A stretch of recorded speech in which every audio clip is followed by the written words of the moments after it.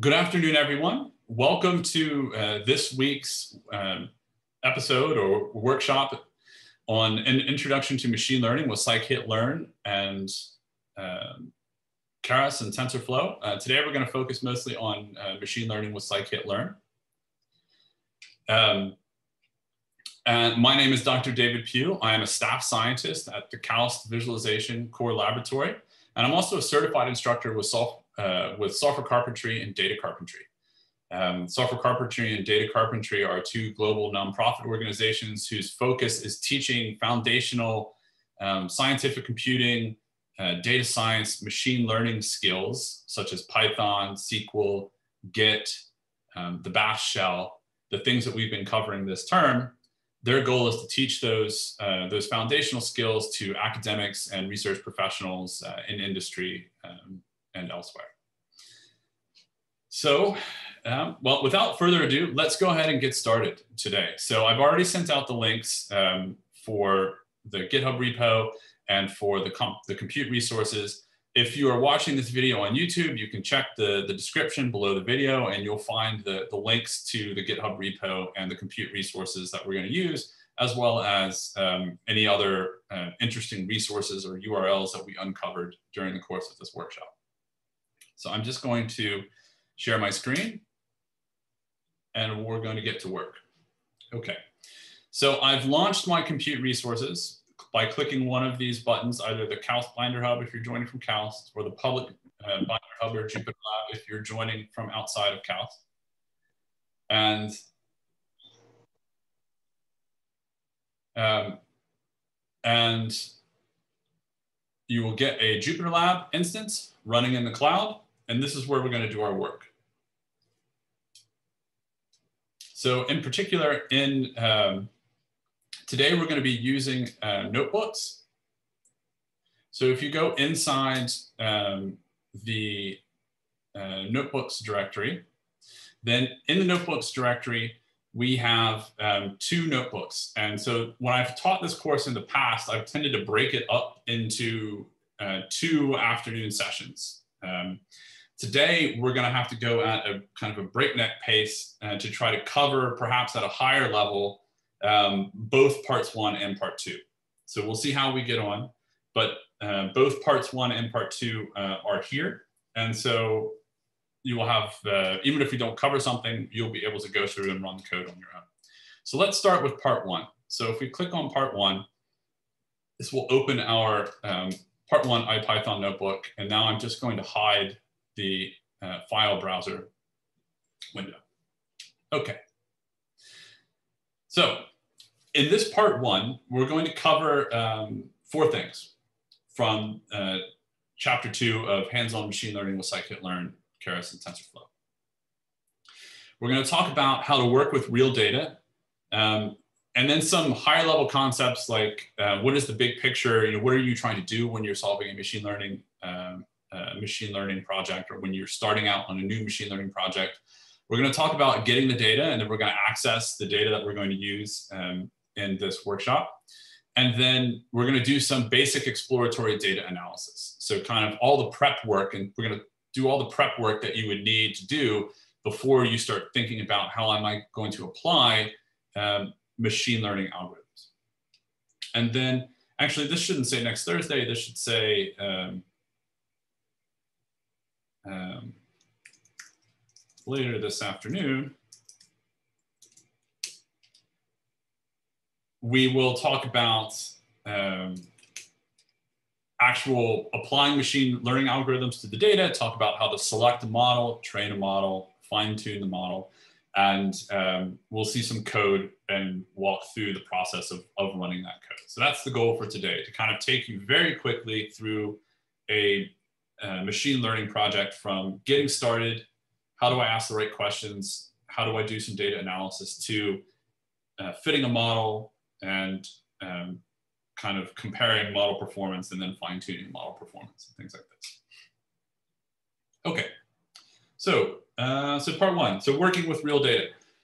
So when you are just getting started um, with machine learning and you want to do um, you want to find some machine learning projects to to learn on um, um, the best way to do that is through getting hold of real world data as opposed to kind of simulated data um, or other forms of artificial data. So I've provided um, a, several links here to uh, different resources where you can get access to real world data. So there is the, um, the University of California Irvine's um, machine learning repository. So there's a whole bunch of data sets here. You can just kind of go through and follow the links and they will explain the process of, of downloading those data sets. Um, there's also Kaggle. Oops. Um, Kaggle is probably um, a place that I would really recommend that you get started. There's a great community um, in Kaggle um, in terms of you know, helping you learn how to do machine learning on real world data. There's competitions where you can earn prizes um, or sometimes even cash competitions, um, depending from both academic research topics as well as industry sponsored um, uh, competitions. So it's a really good learning resource. Um, and then there, there's some other um, other resources here as well. I don't want to go through um, go through all of them. Um, also, the, the three major cloud providers, so um, AWS, GCP, Microsoft Azure, um, they also have their own repositories of publicly available data sets. So if you were to say, um, click on the AWS link, you'll be taken to, um, I hope, internet connection must be a bit slow today. I'll come back to that in a minute. So eventually you'll be taken to the open data repository. Oh, there we go on AWS. And you can search through the data sets that they have. Um, some of them are industry sponsored. So there's a Facebook data set. Some of them are um, government sponsored. So I see a lot of US government um, uh, data sets here from NASA, um, National Institute of Health, uh, National Oceanographic Atmospheric Agency, something like this, uh, uh, Space Telescope, all kinds of stuff. Um, some of these data sets might be very, very, very large computing level of resources. Some of them might be very small that you could actually download them um, onto your laptop, your workstation, and work with them there if you wished. Um, and then finally, I want to point out a really interesting package called Pandas Data Reader. I keep wanting to right click open in a new tab. I forget that I don't need to do that in Jupyter. So Pandas Data Reader is a, um, uh, a Python project that you can install and it integrates uh, with a number of repositories uh, for getting access to data and downloading it directly. So there is um, a data service on banking and financial data in the United States called FRED from the Federal uh, Reserve Board in the US. And that's one of the data sets that you can, you can access there.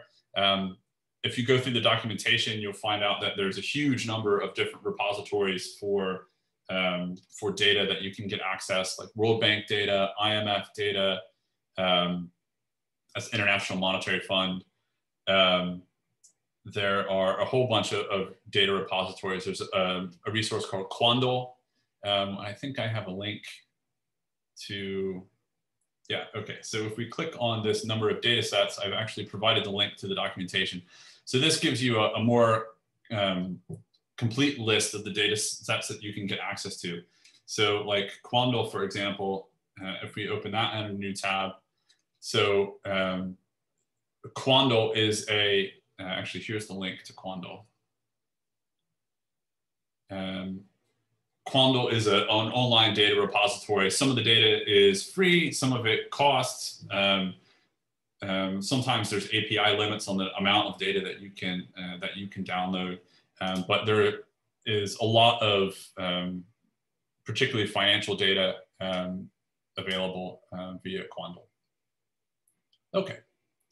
So lots of data sets. And when you want to get started, you want to practice, you should use real world data sets. Don't use some simulated or artificial data sets that you found, you found someplace.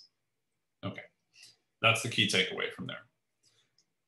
Okay, questions um, about um, data sets before we move on to the next, to talking about the data that we are actually going to use today? Anything?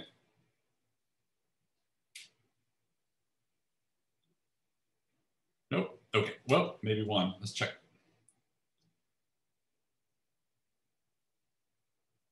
So the question is, are all of these data are structured? Yes. So they are, um, they're typically all structured, particularly anything that you can get from the pandas data reader is going to um, extract this data into a pandas data frame by um, by construction. So that's part of the, what the software does for you is it goes and grabs the data from the web, downloads it into a pandas data frame. And then once it's in a pandas data frame, you can write it out to whatever your preferred storage format is. So all of these data sets will be um, quite structured um, in that sense and, and, and, and reasonably clean. And we'll talk about um, data cleanliness um, in a minute. Okay, so let's go back to, to JupyterLab. And Pandas data reader is already installed. So um, I referenced the environment file for this software stack earlier. Um, but if we look at it again, so this is the complete list of all the tools that have been installed in this software stack. And so um, you could use what you learned in the introduction to Conda for data science uh, training that we did earlier this semester to replicate this entire software stack on your local laptop or workstation or on the public cloud somewhere, um, anywhere where you can get access to computing resources. And you'll see here that I have installed Pandas data reader um, into, the, into the environment. So I try to make it easy for you guys to get started and pick up where this leaves off and do um, do other things with it. Okay, so what we're going to work with today is a data set from the US, the 1990 US Census data set from California. So this data set is, is interesting in that it, it um, takes uh, housing price data and joins it up with data on socioeconomic um, groups uh, of California residents. So it's a bit old, um, you know, hard to believe that you know 1990 was you know 30 over 30 years ago. Um, so it's a bit old, but it's um, it's a good data set for teaching regression, uh, at, which is what we're going to work on today. And um, and the compute requirements are are not uh, not quite, not very large, so we can do this with you know just a few cores and a few gigs of RAM that we have here for free on the cloud. Okay, um, so the, the data is going to be published in terms of census block groups, which is the smallest geographical unit that the US Census Bureau publishes data for. Um, so obviously they, they, gather data on individual people in the United States, but for data privacy reasons, they don't release the data on individual people. Um, what they release is an aggregated version of the data. And what they do is they aggregate up to what are called census block groups and then release um, release uh, reduced data for the aggregate group. So you might get total population per census block or median income per census block or median house price per census block, uh, things like this. Okay, and then here's a nice picture. We're gonna see how to reproduce this figure uh, nearly um, in, uh, in a little bit in code. Uh, but this is taken from chapter two of uh, hands-on machine learning with scikit-learn. Okay. So the next thing I, I want to talk about is, so that's, that's basically the data. That's the data that we're going to be working with today. Um, and so what I want to do now is kind of um, motivate some questions that you should ask whenever you're starting a new um, machine learning project. So things that you need to think about uh, before you even get started to help make sure that you get started in a productive uh, direction. So, um, and you, you know, believe it or not, like most of the work that you will do when you're doing data science or machine learning is not actually fitting models. Fitting and, tra- fitting and training of models is, you know, maybe 10 to 15% of your individual time. It might be a lot of the computer's time will be spent doing that, but a lot of your time will not be spent doing that.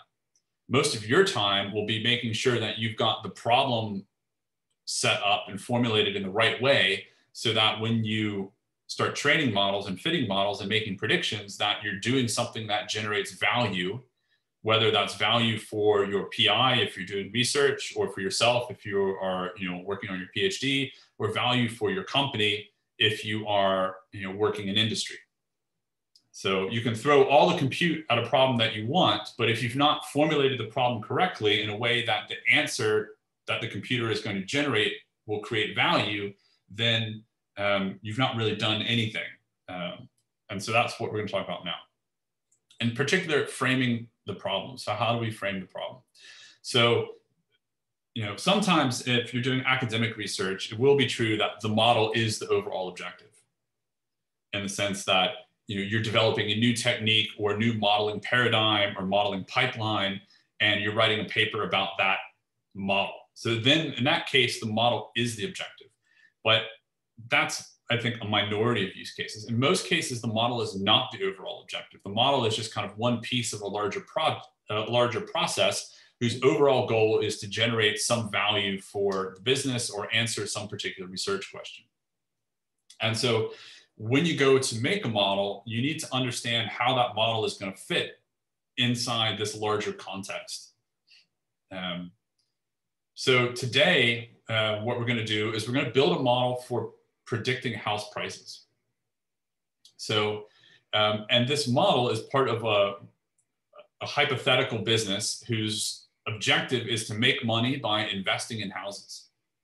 So the business goal is to make money by investing in houses. Our house price prediction model is going to be only one of a collection of models that have to work together in terms of a overall data pipeline to achieve the business objective. And so this schematic here, which is taken from chapter two, tries to explain that. So, you know, our data is going to be one of potentially many data sets that live in this, um, this database or this data storage, um, data lake or data warehouse, however we want to think of it.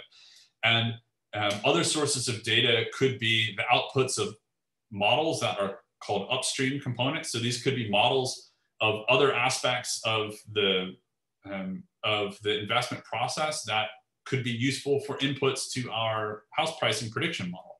So we're just going to be focusing on this right here. And the outputs of our model, which are going to be the prices, that's what we're going to predict, is going to be combined with other data. And that together is going to determine the uh, uh, investment analysis, which is then going to be used to actually make decisions about buying and selling houses in order to try to make money.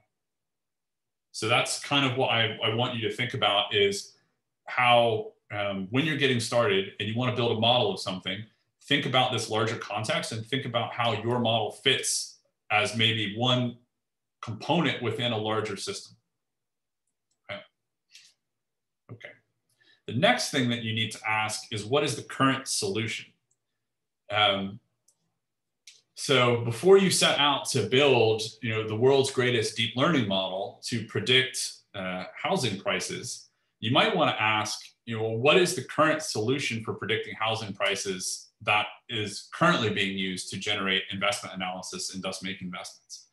Because the current solution might not be very sophisticated.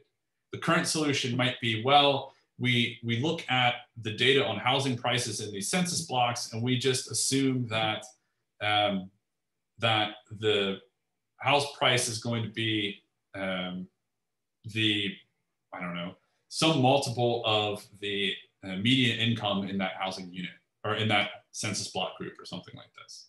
So they could just be taking like a simple heuristic or a simple back of the envelope calculation to predict housing prices.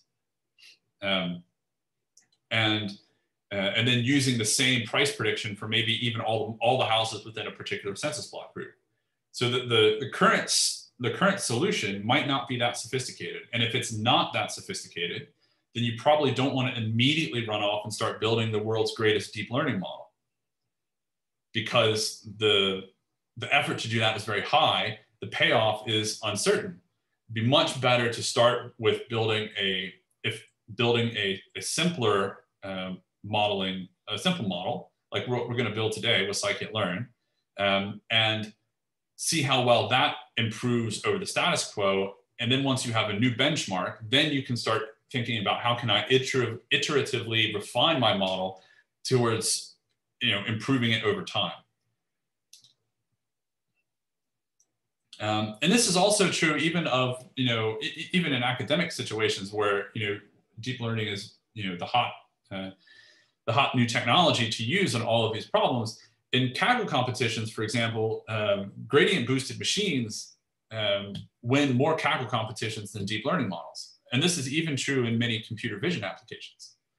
Um, gradient boosted machines, um, we might talk about those a little bit later, but they're implemented in scikit-learn, they're implemented in XGBoost. There's also a LightGBM package. Um, all of these are installed in the, uh, the environment that we have here that we're working with. Um, those are um, modeling uh, algorithms that it's much easier to get started with than jumping to something like deep learning. And they will often outperform deep learning, not always, but often. And it's, um, it's important that you try these um, simpler approaches, simpler algorithms, before you just immediately assume that you need to try to do something very sophisticated. Okay. So always know what your current solution is before jumping in and trying to build a more sophisticated solution. Okay, so, so now we're ready to start designing our, our system, our machine learning system, and we need to frame the problem by answering some more questions. So the first is, are we talking about supervised, unsupervised, or reinforcement learning? So supervised learning, and there's a link here to you know, various the definitions of these things. So supervised learning is where your data set gives you um, data on features and data on a target that you're trying to predict. So in this case, we have features, which are going to be socioeconomic variables like population, median income per census block, things like this. And also we have median house prices for that census block. So that's our target. So that's, we're, we're going to try to train a model to use our input features on socioeconomic variables to predict the median house price, which we also have in our data set. So today we're going to be doing supervised learning. Okay.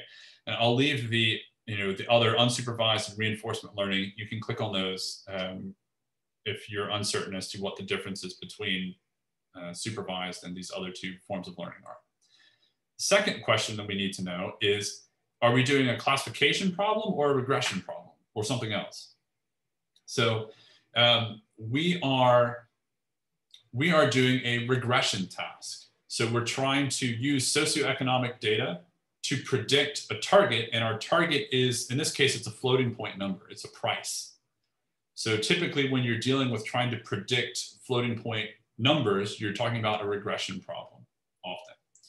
Um, classification problems would be like, you know, I have uh, input images which are, you know, handwritten digits or something, and I'm trying to predict like which digit is this from the image. So you might have image data and then you're trying to predict which class you know, zero, one, two, three, four, five, etc. does this image fall into? Or you've got a whole bunch of pictures, mix of dogs and cats, and you want to predict, you know, is a particular picture a dog or a cat? So that would be another example of a classification task. Um, a way that you could think about predicting house prices as a classification task is that um, instead of predicting um, house the house price itself, you could do something like say, okay, well, I want to predict whether house prices are um, high, uh, medium, or low, or maybe overvalued or undervalued. And then you could use your socioeconomic data to predict, um, and the house price data itself to predict whether houses in that census block seem to be overvalued or undervalued. A model that predicts overvalued and undervalued might be very useful for um, doing investment analysis of the type we're doing here. Um, but that's um, that's just another way that you could uh, that you can sometimes think of regression, converting regression problems to classification problems.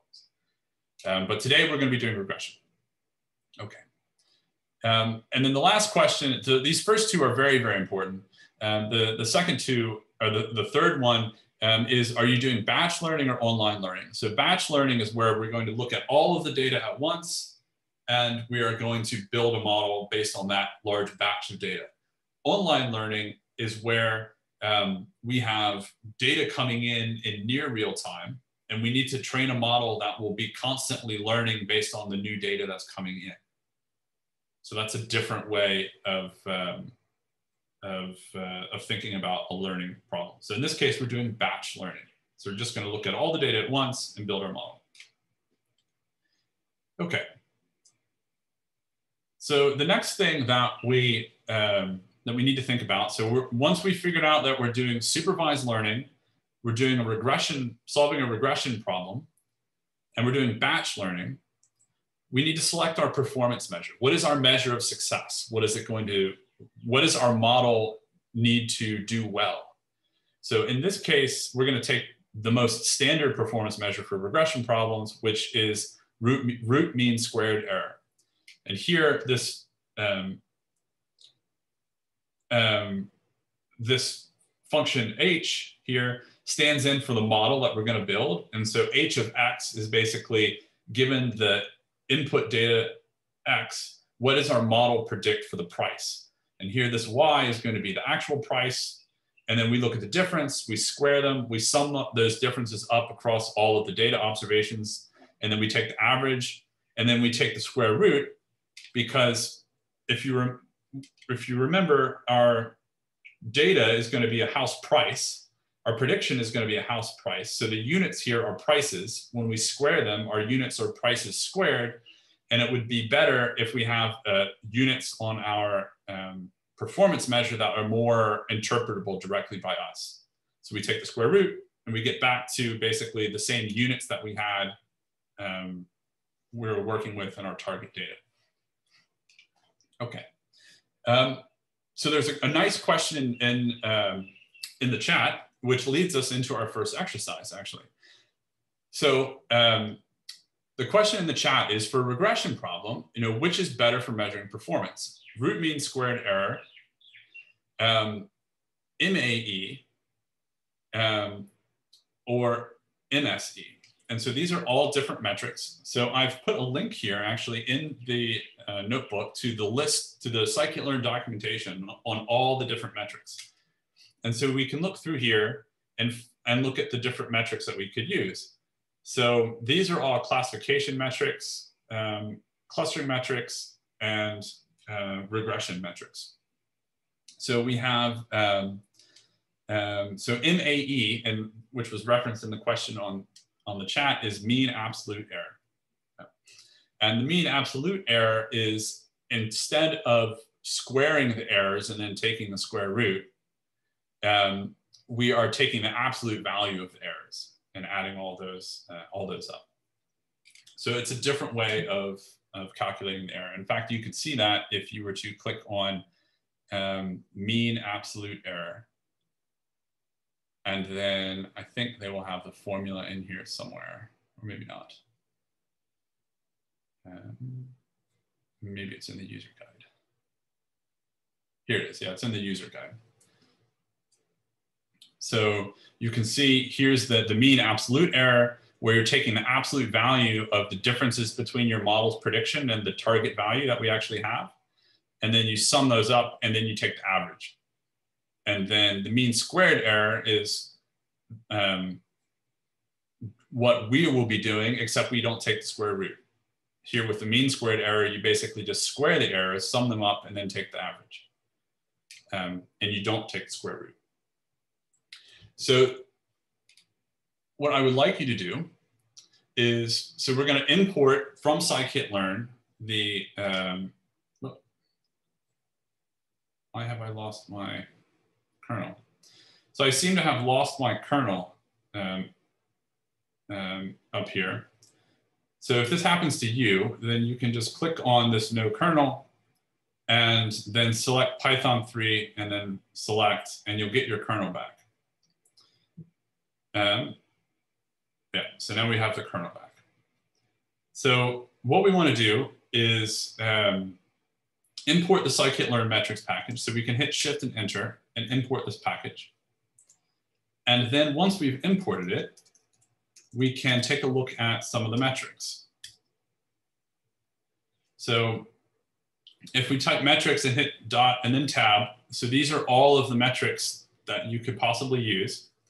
And I provided, again, there's a link to the documentation as well. But if we started typing, so um, let's see, let's do, let's find root mean squared error.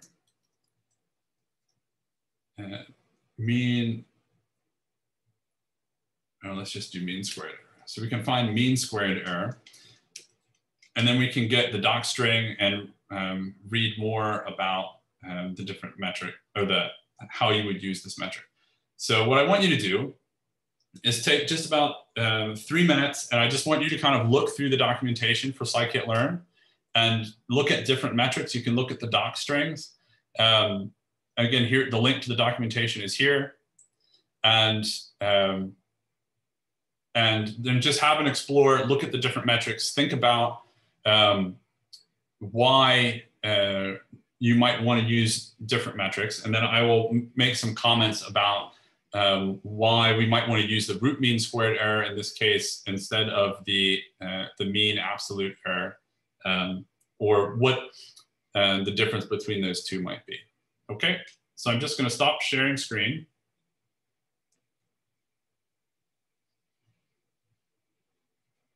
And I'll set a timer on my watch. And so three minutes. So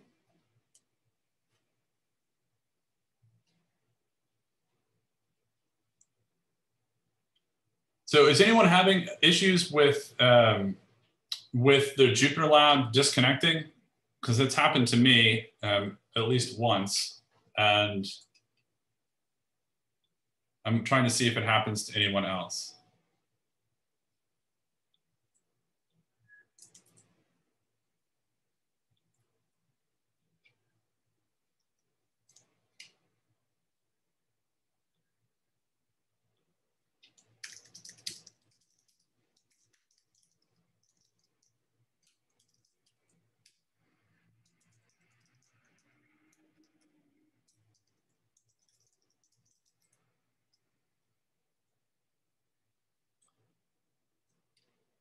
Okay.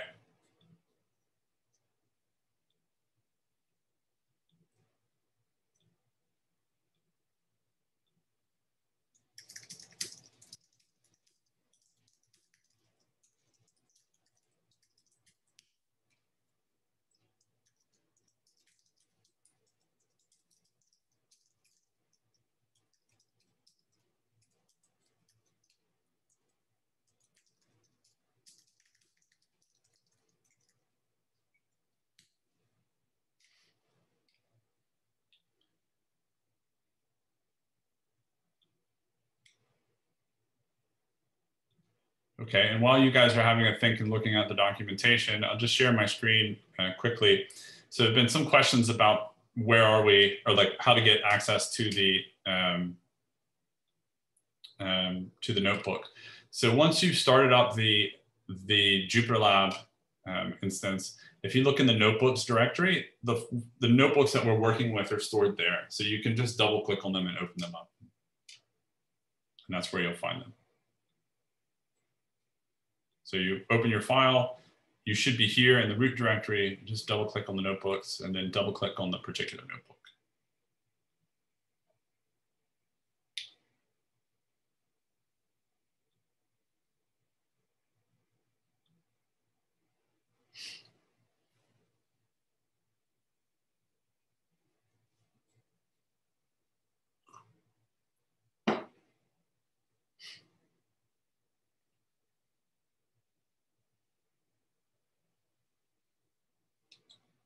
Okay, so that's been about uh, about three minutes.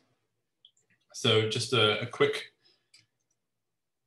so let's have a quick discussion about these um, these different metrics, and let's look at um, so the mean. So let's look here in the um, um in the scikit-learn docs, and we'll compare mean absolute error and mean squared error, and then talk about why we might want to compare one or use one with the other. So first off, there's no hard or fast rule to determine which metric is better. It always depends on um, the context of your problem and what kinds of errors you're most concerned about in your model. So if you look at the mean squared error, so um, when we compute the overall value of our mean squared error, we're summing up squared differences between our model's predictions and the true values in the data. So that means that um, the outliers in our model predictions, so places where our model is making big mistakes, where this gap is large between the predicted values and the actual values, those values are going to be weighted much more heavily in the overall mean squared error compared with the mean absolute error where we're just taking absolute values. So, you know, if our model predictions were off by, um, say, you know, a million US dollars, then that error in mean squared error would be squared. So it would be a million squared. Whereas if you were computing the mean absolute error and our error was a million dollars, it would just still be just a million dollars when adding up the sum. So when you're working with mean squared error, you're putting, you're saying that basically you want to put more importance on uh, fitting a model that is going to fit the outliers, uh, not fit the outliers, but place more weight on large errors in your predictions relative to something like mean absolute error. Whether that makes sense within the context of your problem is up for you as the, the data scientist or the uh, machine learning engineer to decide. Now, when comparing mean squared error versus root mean squared error, it's more of a, a, convenience thing. Like I typically work with root mean squared error because I like to have the units of my um, of my um, my metric be the same as the units of the thing that I'm trying to predict. So here I'm predicting house price, or in our context, we're predicting house prices. So the model errors are going to be in house prices. So we have predicted house price minus a house price. The errors are, the, the area is house price, which then gets squared. And I want to take the square root so that the units of my overall mean squared error are in, you know, in this case, dollars, US dollars as opposed to squared US dollars, which is a lot harder for me to, to think about. Okay, so hopefully that um, gives you a flavor of the kinds of, um, of things that you need to think about.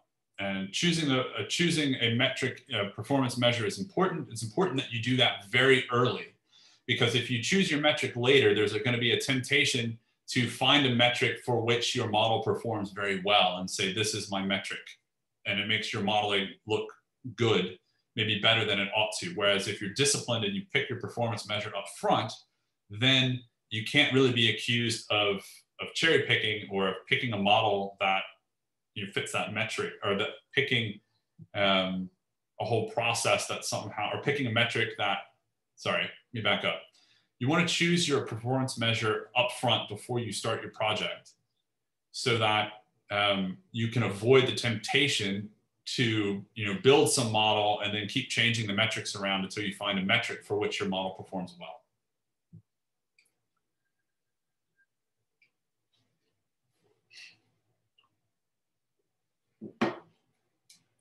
Okay.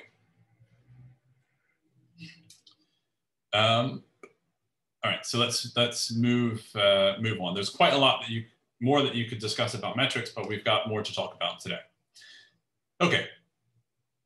Um, finally, you want to check your assumptions. So um, we've set up our machine learning problem as a supervised um, uh, regression problem, batch using batch learning. Um, but it's important to talk to the, the stakeholders or the people who are going to use the predictions of your model. So for example, you know, maybe you think you need to predict a price, but then when you go and talk to, um, let's go back up here to our modeling pipeline. So maybe you think you need to actually predict the price, but then when you talk to the people doing the investment analysis, they actually have a heuristic that takes a predicted price and converts it into, is this house um, overvalued or undervalued or fairly valued? So in which case, maybe it would be better if you actually built a model to predict that classification. And then they could avoid having to use this kind of heuristic on your the output of your regression um, model. So it's really important to invest that time to find out, you know, um, how are your outputs of your model going to be used and make sure that people who are using your model's predictions um, that you two teams are on the same page in terms of how these models are going to be used and how they're going to integrate with one another. Okay. So get the data. Um, so we're going to now we're going to talk about you know getting the data and how to create the workspace and things like that. So fortunately, we don't have much to do in terms of creating the workspace. So there's quite a lot in chapter two that goes through a lot of the stuff that we covered in um, the introduction to Conda workshop earlier this semester. Um, in particular on how to create a virtual environment and install all the dependencies. Um, I believe chapter two focuses more on using pip to do that. Um, I prefer to use Conda. Um, and but we don't need to do that. We've already started up our, um, our virtual uh, environment and we've got it running in our cloud resources using Conda and pip. And um, you can check out the, if you, if you didn't join us for the earlier introduction to Conda for data scientists workshop, you can uh, check it out on our YouTube channel. Okay, so now we actually are going to download the data. So typically, um, you're going to want to write some Python code to actually automate the process of downloading your data um, and from wherever it lives and storing it somewhere on your laptop, your workstation, or whatever server you're working on. Um, if it's a large data set, you typically will only want to run this, you only run this kind of code once, download the data once, and then always access it from a local, um, a local connection. Um, but if it's a small data set like this, you might find it's just actually easier to download the data every time. Um, so in this case, we are going to um, hit shift and enter to execute this cell. I've lost my kernel again. Um, so, okay. Um, so I had to get my kernel started up again and we will hit shift and enter to execute this cell. And then this basically is going to define this Python function. And then in the next cell, we'll hit shift and enter again to execute the cell. And that's actually going to fetch the, run this function and fetch the data for us. Now, I, I believe that I, um, that I already stored this data uh, locally um, in the data housing directory. Um, so it should already be there. Um, so we really didn't have to download anything. So it didn't take, uh, that's why it, it, executed so quickly. Okay, so now we've downloaded the data. Um, I guess the other thing I should, I should say is that if you are working, um, you know, maybe at a company that has a, a large database where all of your company's data is stored, then this downloading the data would be more like fetching the data from a um, a uh, a SQL database or something like this. Um, right. So, sorry. There's a couple of questions in chat about. Okay. Um, I will share, so there are quite more questions in chat about getting access to the compute resources. So I'm just going to copy this link and I'll just paste it again in chat. So click this link.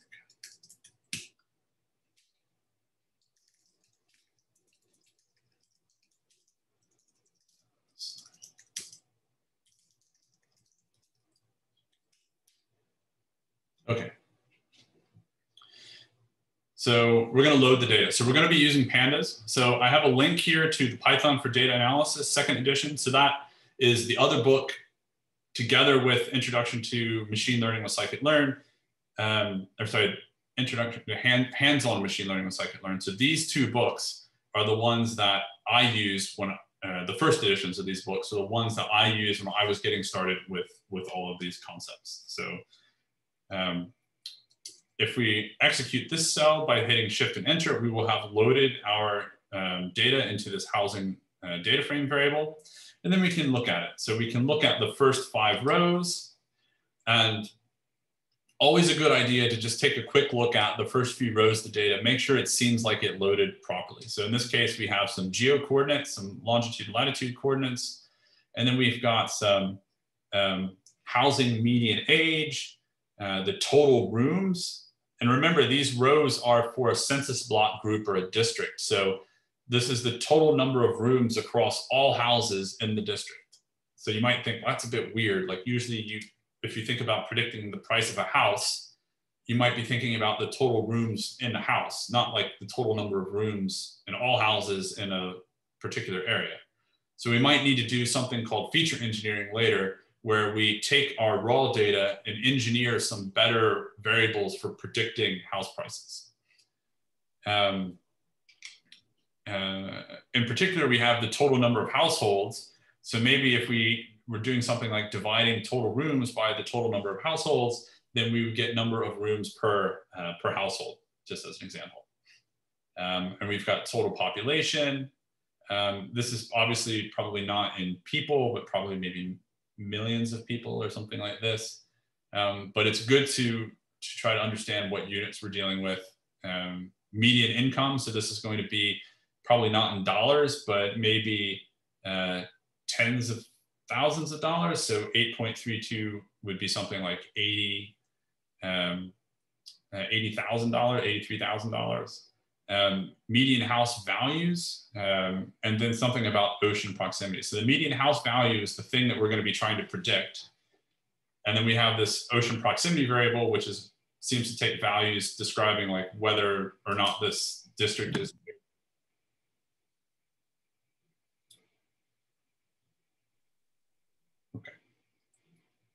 Um, right, so we've looked at the first few rows. The next thing we wanna do is look at some more information about the data frame. So if we look at the, use the dot info method, we can get some more information. So the first thing that we can see is that um, we have uh, 20,640 rows. And it looks like all of the rows with the exception of this, uh, all, all the columns rather, with the exception of this total bedrooms column, has uh, is not missing any data. So we can see here that the total bedrooms has only 20,433 non-null entries. So that means that there are 210-ish um, missing values in the total bedrooms. So we'll have to think about how are we going to handle that later? How are we going to deal with missing values? Um, looks like all of the data are numbers except for this ocean proximity, which is stored as an object type, um, but that really just means string. So, and we can look at what the values that this ocean proximity variable takes by using our dot .loc method to do the subset to select out the column from the data frame and then calling the value counts method. So if we run this, we'll see that um, there are a little over 9,000 uh, census districts that are within an hour of the ocean, um, 6,500 that are classed as inland, um, 2,600 that are near the ocean, 2,200 that are near the, the bay, uh, which is probably the San Francisco Bay, uh, given that this is a California data set. And then there are five census block districts that are actually islands. So this is just kind of like basic data analysis, familiarizing yourself with the data and things like that. Um, always a good idea to compute some descriptive statistics. So we can use the dot .describe method on the data frame to compute um, you know, kind of means, maxes and mins, standard deviations, quart, uh, quantiles, things like this for all of the numerical uh, variables. Um, so it can kind of give you ideas of ranges, help you identify outliers maybe. Um, so if we look through here, um, we have, so housing median age. So we have um, one census block group where the housing, housing median age is one year. So that's very, very new. That means that on average, all the houses in that uh, that census block were basically brand new. And then on the other end, we have a census block where the average age is over 50 years. So that's, um, um, you know, that's something to keep an eye out for. Um, the other thing to look at would be maybe if we look at our the descriptive statistics for the thing that we're trying to predict. So the median house value. So we can see that the max value is uh, just a little bit over 500,000. And when you see really round numbers like that, you might wonder, well, maybe, maybe there's something else going on, uh, going on here. Like in particular, maybe there's an upper bound on the median house value value values in the data set, for example. We'll see some of that. That will come out, that is true in this data set, and it will come out very clearly when we actually start plotting our data, which is the next thing that I wanna show you. So it's really important to plot your data. You can learn a lot by looking at your data in different ways and looking for patterns and things that um, may not be as obvious from um, from just looking at kind of simple descriptive statistics. So here we're going to plot a histogram with 50 bins of our target variable. So that's the median house value. And when we look at this histogram, I'm going to make this a little smaller. When we look at this histogram, um, so the x-axis here is median house value. And then the uh, y-axis is the number of uh, number of census block groups that fall into that particular bin. And the first thing that you'll see is that there are a very large number of census block groups who have been lumped into the 500,000 median house value. And that is a strong indication that this data set is actually uh, censored in the sense that it does not report the actual median house value for census block groups whose median house value is greater than 500,000. So it basically lumps all of those right into the same bin. And so this is a problem. It's a problem because um, we don't want to do that with our model. With our model, we want to actually predict the actual median house value in a census block group. We don't want to you know, bend these houses like this. So we're going to have to make a modeling choice later about what to do with these values. Do we want to drop them from the analysis or do we want to try to go back and collect more data to maybe build a model to estimate this upper tail of, of houses separately and then use the predictions for that model as inputs to this model? Um, we'll have to make some modeling choice. So that's something, whenever you see a big spike in your histogram like this, that's something that you need to investigate more. Okay. Another simpler way to plot, so here's a, a way to plot this histogram using matplotlib. Another way is to just plot it using the built-in um, plotting functionality of your pandas uh, library. And so here we can just run this cell and this is actually going to print histograms for the entire data frame all in one, uh, one graphic. So we can look here and see that we have um, our longitude and latitude are, um, of our census block groups are, are bimodal. So we've got two peaks. Um, and you know, if you're familiar with ca California geography, you'll know that there is like a big cluster of people that live in Southern California, like Los Angeles, San Diego, around there, and then another um, another peak that lives up in the San Francisco Bay Area. And so we'll, these are these two peaks are probably corresponding to roughly the latitude longitude coordinates of the LA, greater LA area, and then the greater San Francisco Bay Area. Um, so housing median age. So again, we've got this kind of peaks of um, and housing median age, but then also this big spike here. So it looks like we might have the same issue with housing median age that um, um, that if uh, if we have large numbers of, of very old houses, older than 50 years, are just lumped in together.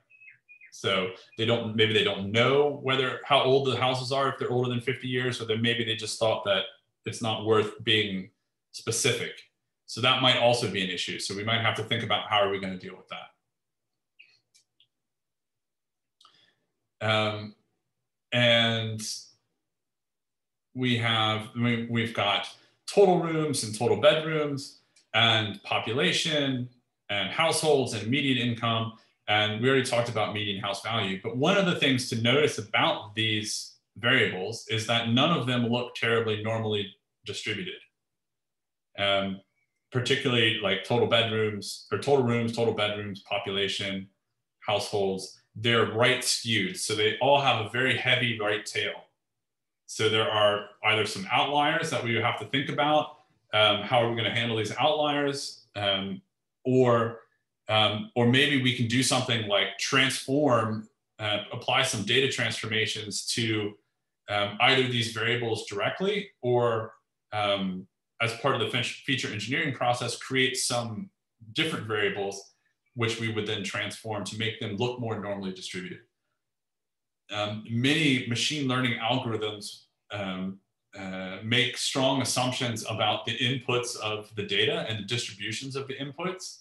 And in order to make these algorithms perform as, um, as good as they possibly can, we often have to do a lot of pre-processing on our data to take data which is not very well normally distributed and find um, explanatory variables or, or, construct features or transform these raw data distributions so that they look more um, more normal or more standardized. Okay.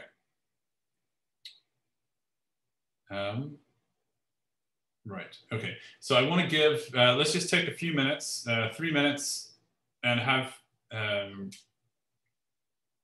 um, have you guys think a little bit about any other uh, any other questions you have about this um, this data set.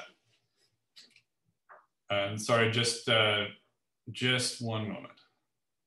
I'm gonna, whilst you guys take a few minutes and think about that, I'm going to see what my daughter wants because she's just knocked on my office door.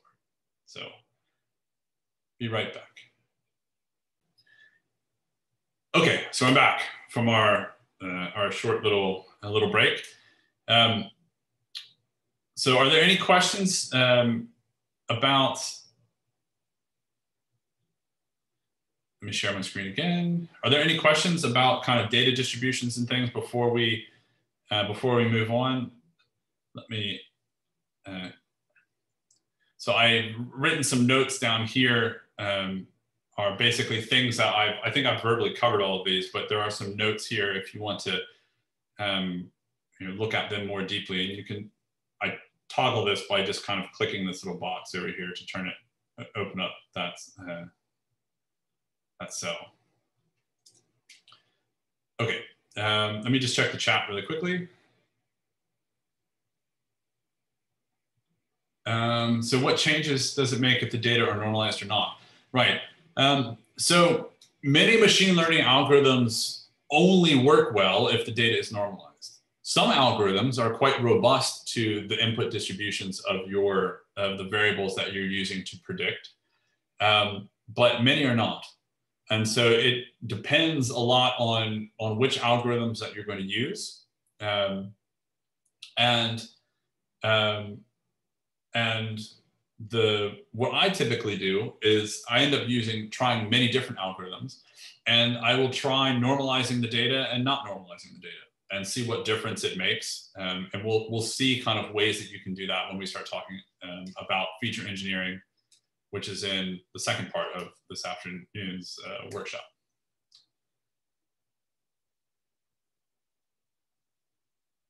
Okay. So mo moving on. So the, creating a test set.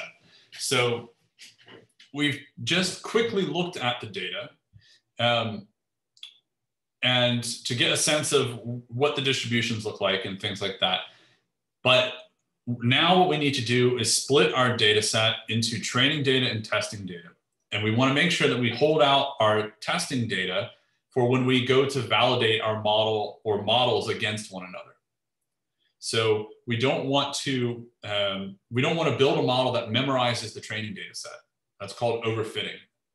So in order to guard against overfitting, we need to make sure that we have some data that was not seen by the model when the model was trained to assess how well that model is actually performing. And so that's why we're going to create a test set. And we do that very early on. It's very important to, to split your training data and your testing data, save your testing data um, somewhere on disk, and then don't look at it again until you're ready to assess the performance of your different models. Now, I've presented some code here. Um, if you um, if you're working on a data set where that data set might change in the future, like you might get new data, more data. Like if this was, um, you know, if we only had a, a, subset of our California data and eventually we're going to be getting more data, um, like if we were doing house price prediction in California now, we might be using something like a service like Zillow or or something to get to get data on house uh, house prices. And of course, the houses come on the market every day, go off the market every day. So our data set might be changing a lot. We might getting new data all the time. And we need to make sure that we can make a consistent training data set um, even when we're getting new data all the time. And so there's a, a more um, elaborate discussion of how and why you can do that. You might need to do that. I've presented the code here. Um, we're in an easier situation in that we don't have this problem. We have all the data that we're ever going to have. And so we don't have to deal with some of the uh, intricate um, issues that you have to deal with when you might be refreshing your data over and over. So there's more on the book on, uh, on this. So I'm just going to pass on it for now. So for us, we have all the data that we're ever going to have for this problem. And so we're going to use the model selection function from scikit-learn, um, or the model selection module from scikit-learn to do our train test split. And so this code here um, imports uh, NumPy and, and, the model selection module from scikit-learn.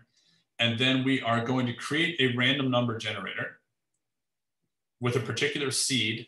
This is very important. Setting the seed is very important when you're doing your train test split because you want to make sure that you are repeating the same train test split all the time.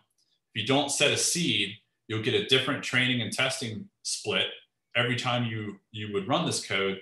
And then if you if you did that over and over again, then effectively your model would see all the testing data, which is not what we want. Okay. So here um, we're going to use the model selection train test split function. And we are going to split our housing data frame into 20% test data and 80% training data. And then we pass in our, uh, our random state variable, which is basically is just the random number generator. And so this is a repeatable random split into training data and testing data. Okay. So if we run this code, ah, lost my kernel again. Um, So if we run this code, oops, I've lost my, now I have to go back up here and uh, reload my data frame. And, and there we go. If we run this code, so we've split our data into training data and testing data. Okay, great. So, so now we're going to look at the, the distribution of median income from our, our, this is from the whole data set. Okay, so we might think that median income, um, now I'm, I'm going to talk a little bit about a slightly different way to split the data than just doing a pure train, a random split which is what we did this first split. So median income is probably going to be a very important variable in predicting house prices because obviously people have to purchase houses. They typically have to borrow money in order to purchase a house. And the amount of money that they can borrow is probably going to depend on their income. and therefore the amount of house they can afford, the house price that they can afford is also going to depend on their income. So we think income is probably going to be very important. If we have a variable, which we think is going to be very important, we might want to make sure that the distribution of this variable in the training data and the testing data is the same.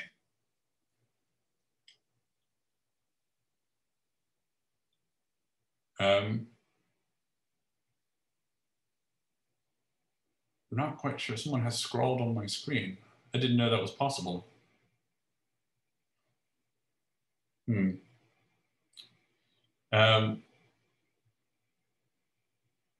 that's okay. I didn't even know it was possible. Um, but if you could try to erase it, that'd be great. Um, um, right. Um, so if we look at the distribution of median income in the testing data, we can see that it's not quite the same. It's maybe a little bit hard to see. I'll try to make this um, smaller. But you can see that um, the distribution isn't the same. I mean, you can look at the, the y-axis scales. I mean, the shape is kind of similar, but you can tell that the distributions are not the same.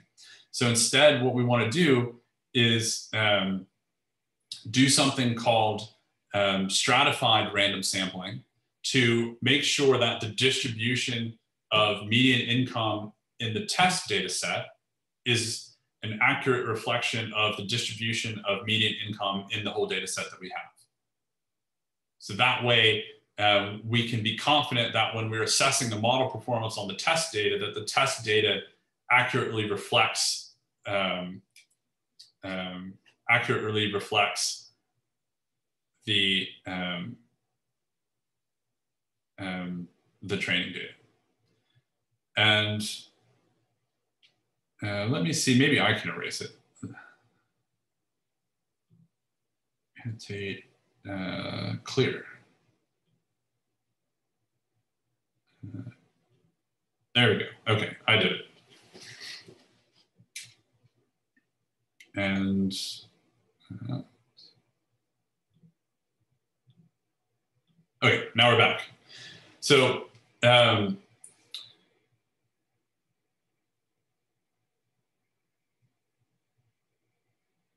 So, uh, so there's a question, you know, if we make sure that the train and test data have the same distribution of a certain variable, will that give our model an unfair advantage? So we're, we're not, um, what we're doing is we're saying that um, when we look at the whole distribution of median income in the whole population, what we're saying is like um, median income is a very important variable for predicting house prices. So when we go to assess our model, we want to make sure that the, the data on which we assess our model performance is an accurate reflection of the distribution of these important variables. Because otherwise, we might think that our model is performing badly because we have a weird distribution of median income in our test data just by chance. Because if we just do this completely random uh, train test split, we could randomly end up with a really weird looking median income distribution in the test data. And then we would train the model on a very typical looking distribution of median income. And because this variable is so important, when it goes to predict on the test data, which has a weird distribution of median income, it might, uh, it might give us the impression that our model is performing poorly. And so to avoid this, we're just going to make sure that the distribution in our test data is an accurate reflection of the overall distribution for this variable. Sometimes you might do this for multiple variables. Exactly, you want your test data to reflect reality, particularly in the dimensions of reality that are, um, that you have maybe either other reasons to think are, um, are very important, like median income. So we can do this by um, basically binning our median, because our median income um, distribution is a continuous distribution, but we can actually bin it into bins and kind of then create a way to make sure that when we do the sampling, we get the same number of samples uh, in the test data that were observed in the whole data set. That's called stratified sampling. And there's a link here to a Wikipedia page, I think, on stratified sampling. So you can read, read more about how to do that. The pandas trick is this really interesting function called cut. I'm not going to dive too deeply into it um, because I just wanted to kind of mention it in passing that this is stratified sampling is an important technique that you should be aware of. Um, and, and it's really easy to do in scikit-learn and pandas. So you, there's a stratify um, parameter in the train test split, and then you can pass in a, um, um, a variable that you want to do the stratified sampling based on. And that's what I created here.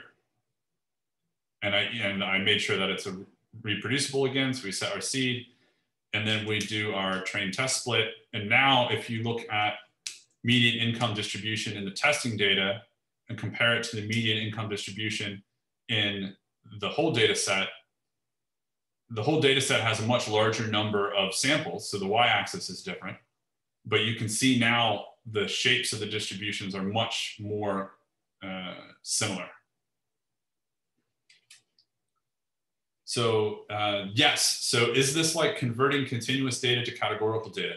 Yes, so this process here of using this cut function to chop up a continuous uh, variable into a uh, categorical or discretized variable is one way to convert continuous data to categorical or to um, discrete data.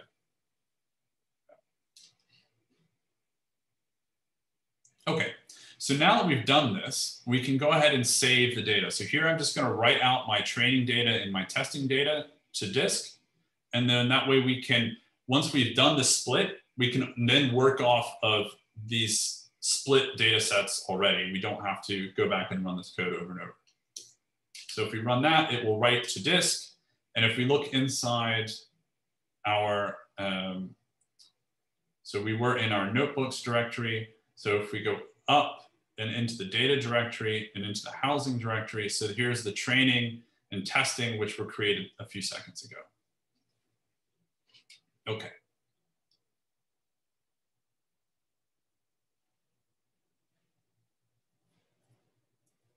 Um, so there's a question, a more advanced question about k-fold cross-validation, which we'll talk about um, uh, later this afternoon, but that is uh, addressing a different issue. So no, so k-fold cross-validation is addresses a different issue. It's not going to take care of this uh, stratification uh, sampling upfront. Right, okay, so now we have our training testing split. So now we want to explore and visualize the data some more. So um, we can make some scatter plots. So here's an example of scatter plots.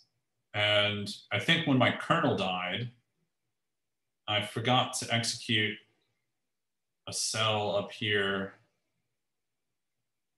Uh, ah, this cell, which imported matplotlib.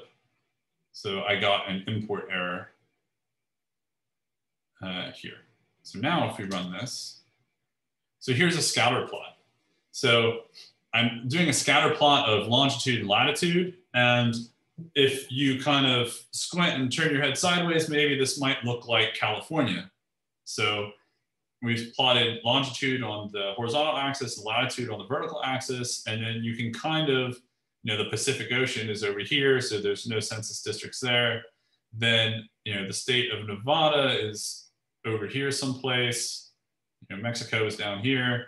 So this is going to be the Southern California cluster of Los Angeles and San Diego.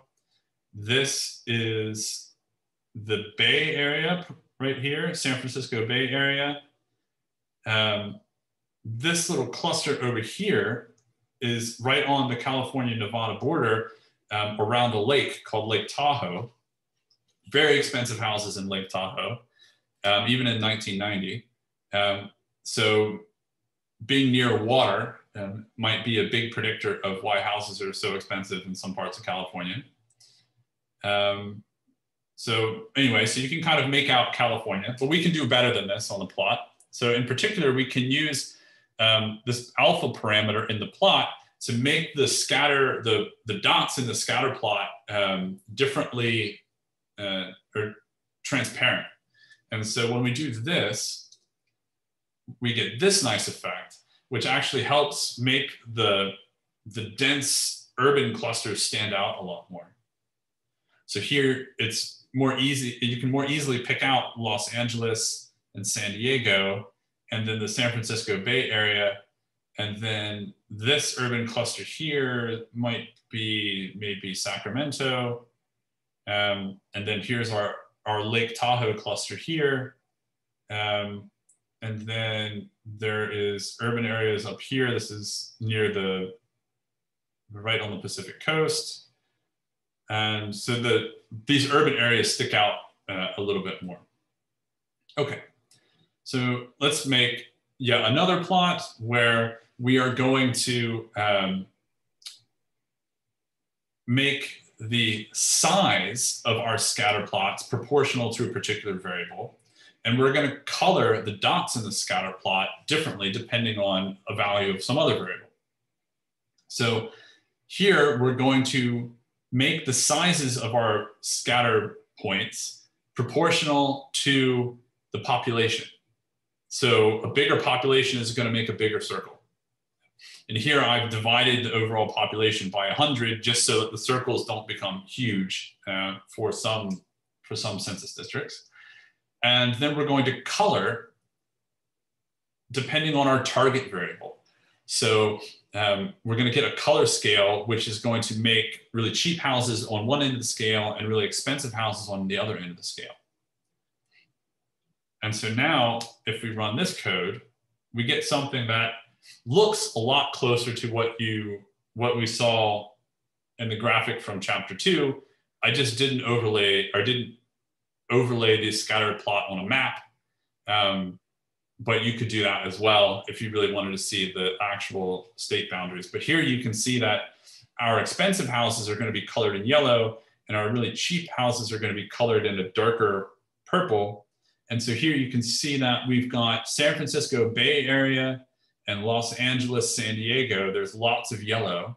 And then as you get more into the mountainous rural areas of California, you start seeing more purple, um, purplish lower housing prices.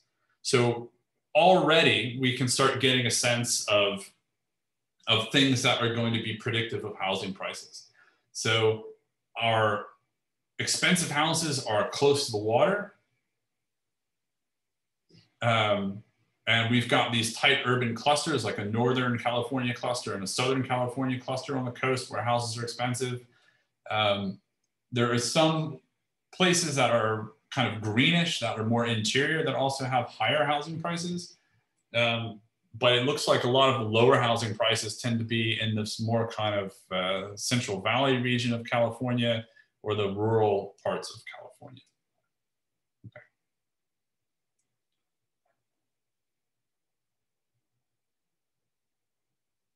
Um, and when you are making these plots, um, you are you're passing in a variable here, and this variable is basically uh, explaining you know how exactly how to both color and exactly how to size the uh, the point in the scatter plot. So you have to pass it a variable because we're, si we're making different sizes and different colors for every point on the scatter plot uh, in reality. Um, so we have to pass in a whole variable for that. Okay, so there's some plotting, lots more that you could do with plotting, but I just wanted to show you some examples. Okay, so the next thing we want to do is start looking for numerical patterns in the data, statistical correlations and things like that. So there's a, a core a correlation method, which you can use on your training data, the whole data frame. And if you run this, then you get a matrix of correlation coefficients between every pair of variables in the data set. So you'll see that um, first, this is a symmetric kind of matrix, a symmetric matrix. The diagonal values are all one because if you take, if you compute the correlation uh, coefficient of a variable with itself, it's always one by construction.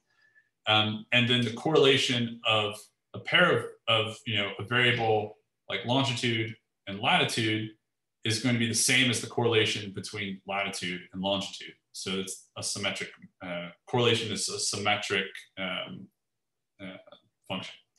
And so these values form a symmetric matrix. Um, positive values mean that the, very, the values of the two variables tend to go up together and down together. Negative values means that um, if, if, one variable goes up, the other tends to go down. And correlation coefficients uh, will be between zero or between minus one and one. So one is perfect positive correlation, negative one would be a perfect negative correlation. And so you can look through here and start looking for, for variables that um, are have strong correlations uh, with one another. So in particular, we might care about um, correlations between individual variables in our target variable, the thing that we're trying to predict, which is actually this last column here. So if we just wanted to compute uh, correlations between our data in our um, data set, our features, and our target, then we could just select out that median house value column and then here are the individual um, correlations between the variables in our data set and our target median house value. So median income has the highest positive correlation of all the variables um, with our target. So that means it is a very important variable, as you, as you would think um, when trying to predict house prices.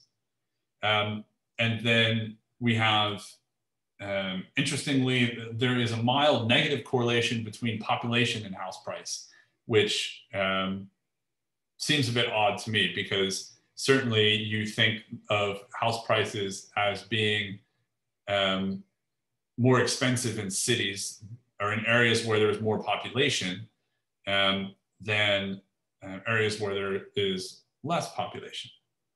So maybe we could do some feature engineering to try to improve, find different features that have better correlations with our median house value. We'll talk about that uh, later this afternoon.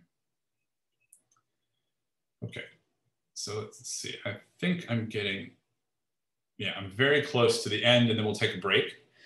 Um, so the thing I want to talk about with correlation coefficients or the, the, kind of the warning I want to give you is that um, correlation coefficients measure only linear relationships between two variables. So um, this you know, 0.687 correlation coefficient between um, median income and median house value is a measure of the strength of a, of a linear relationship between median income and median house value. It can't capture, it's not a measure of the strength of any more complicated nonlinear relationships that might exist in your data between uh, median income and median house value. And this is a nice picture that I think kind of illustrates that um, from, um, from the chapter two of the book, and particular if you look at the bottom row. So these relationships between you know, an x variable on the horizontal axis and a y variable if you were to compute the co uh, correlation coefficient between those two variables, it would be zero for every single one of these data sets on the bottom row. But you can see from that there is an obvious pattern or relationship between the two variables. But it's just not a linear relationship. And therefore, a, it's entirely missed when you just compute a simple correlation coefficient. So this is a kind of a warning. Um, uh, a warning to um, be aware that yes, correlations are useful, but if your data has more complicated nonlinear relationships between your variables that you're using to uh, to make your predictions and the thing that you're trying to predict, your target, then correlations on their own are going to be insufficient guide to um, modeling that data. So there's a question, is there any relation between the correlation uh, coefficient matrix and the confusion matrix. So the confusion matrix, is, the short answer is, um, is not really.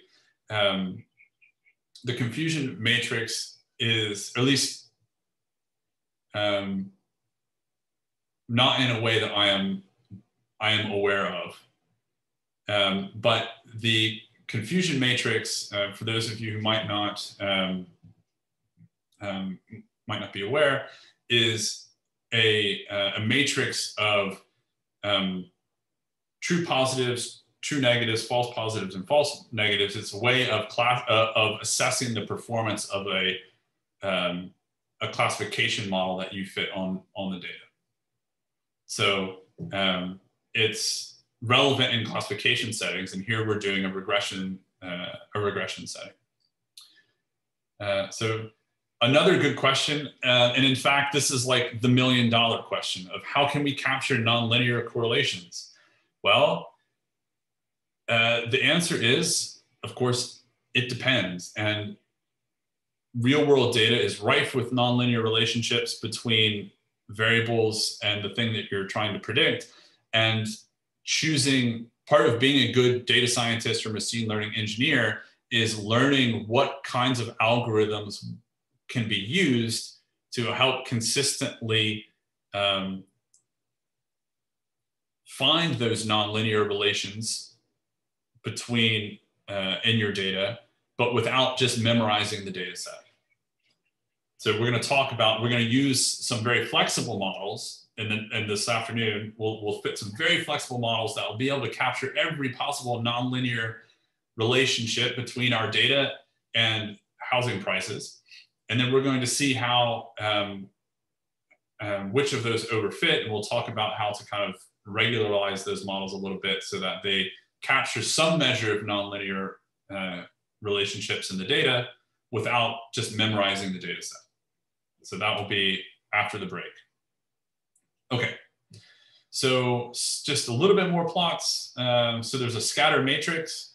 So if you wanted to, you could compute, um, so Pandas has a plotting, uh, has a plotting uh, module you can make scatter plots of all your data um, and then histograms along the, the diagonal. So this is kind of a handy plot if you want to take a look at um, some things.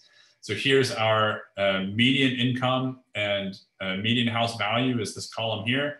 So here's our kind of positive, positive linear correlation is like this positive sloped line that you might imagine exists between this scatter of points. And then here you can clearly see the um, the impact of the median house value having this upward bound of 500,000. So it shows up as a plot, uh, as a line of points right here. Um, looks like there might be some other lines kind of hiding here in the data as well. Um, and then here's the median house, house value, median house age. You've got these points here that form a, almost a line across the top and across the bottom. So those are kind of data artifacts that we're going to have to manage um, when we before we start fitting our models. Okay, um, what is this? So this is just selecting out um, a particular plot. So here we're, we're doing a scatter plot of median income versus median house value and make kind of blowing it up. So this is just blowing up this plot here, making it a little bigger. Um, so it's more, maybe more obvious kind of what's going on. And here you can clearly see this, this line, uh, this artifact in the data that we're gonna have to decide what to do with. Okay. Last thing before we take a break. Um, maybe the raw data features that we have, things like total bedrooms, total rooms, population, maybe these are not the right um, the, or the best variables for us to use. So thinking about uh, different attribute or different um, variable combinations that might be themselves better predictors of, in this case, housing prices. This is a process called feature engineering. So again, there's a link to uh, the Wikipedia page on feature engineering. And then I've got a link to um, a really cool project called Featuretools, um, which is also installed in your uh, in this software environment. Um, Featuretools is a library that helps you generate various uh, combinations of attributes or features to create new features that might be even better at predicting um, whatever it is you're trying to predict. Um, very useful uh, for time series data because writing the code to try different combinations of lagged values and time series prediction context is, is time consuming and error prone. So they have a very uh, nice set of tools to, to do that. They even have some built-in um, tools that will actually use deep neural networks to find an embedding of if you have a lot of categorical variables. Um, you know, some some data sets or some problems can have you know millions of different categorical features that have to somehow be usefully leveraged in a prediction problem. You can do something called a um, an embedding of those categorical features into um, into a model basically. So you have like a little sub model that does feature engineering.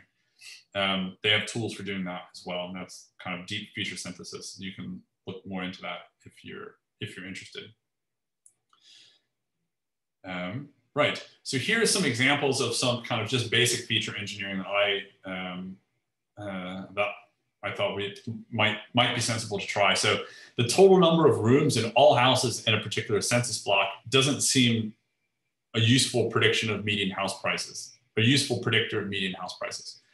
So what we want instead is some estimate of like the average number of rooms per house.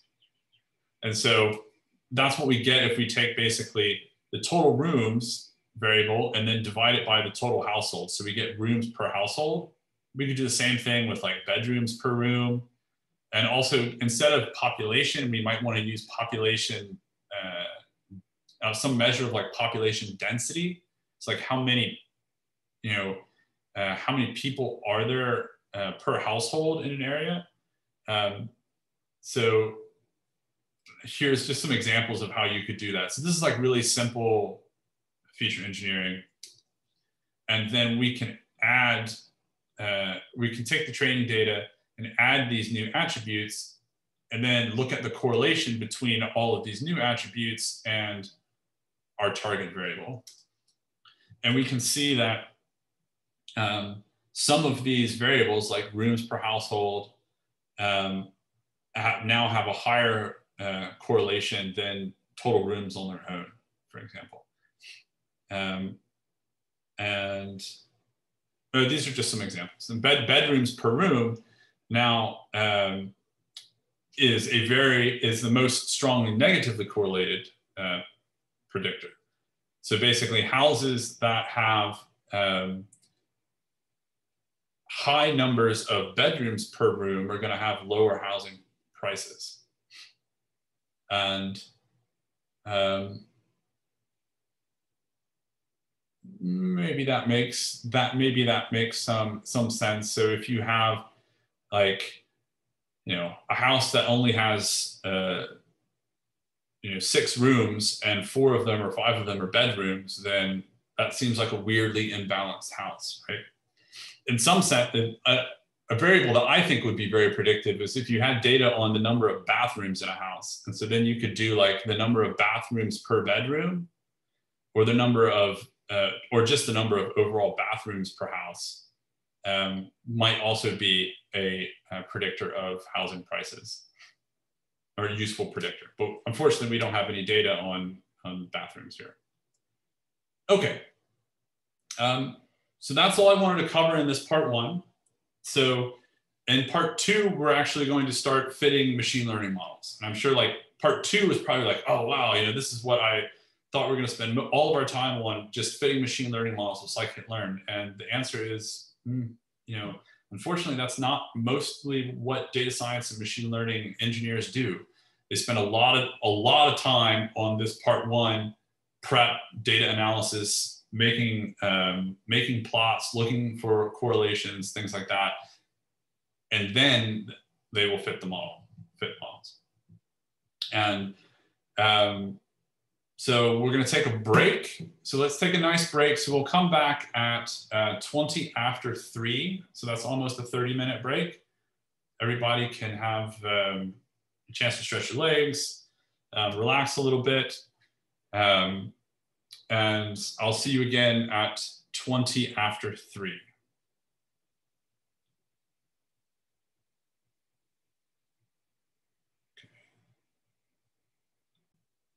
Okay. Hope everyone had a nice break. We're back. I'm now recording again.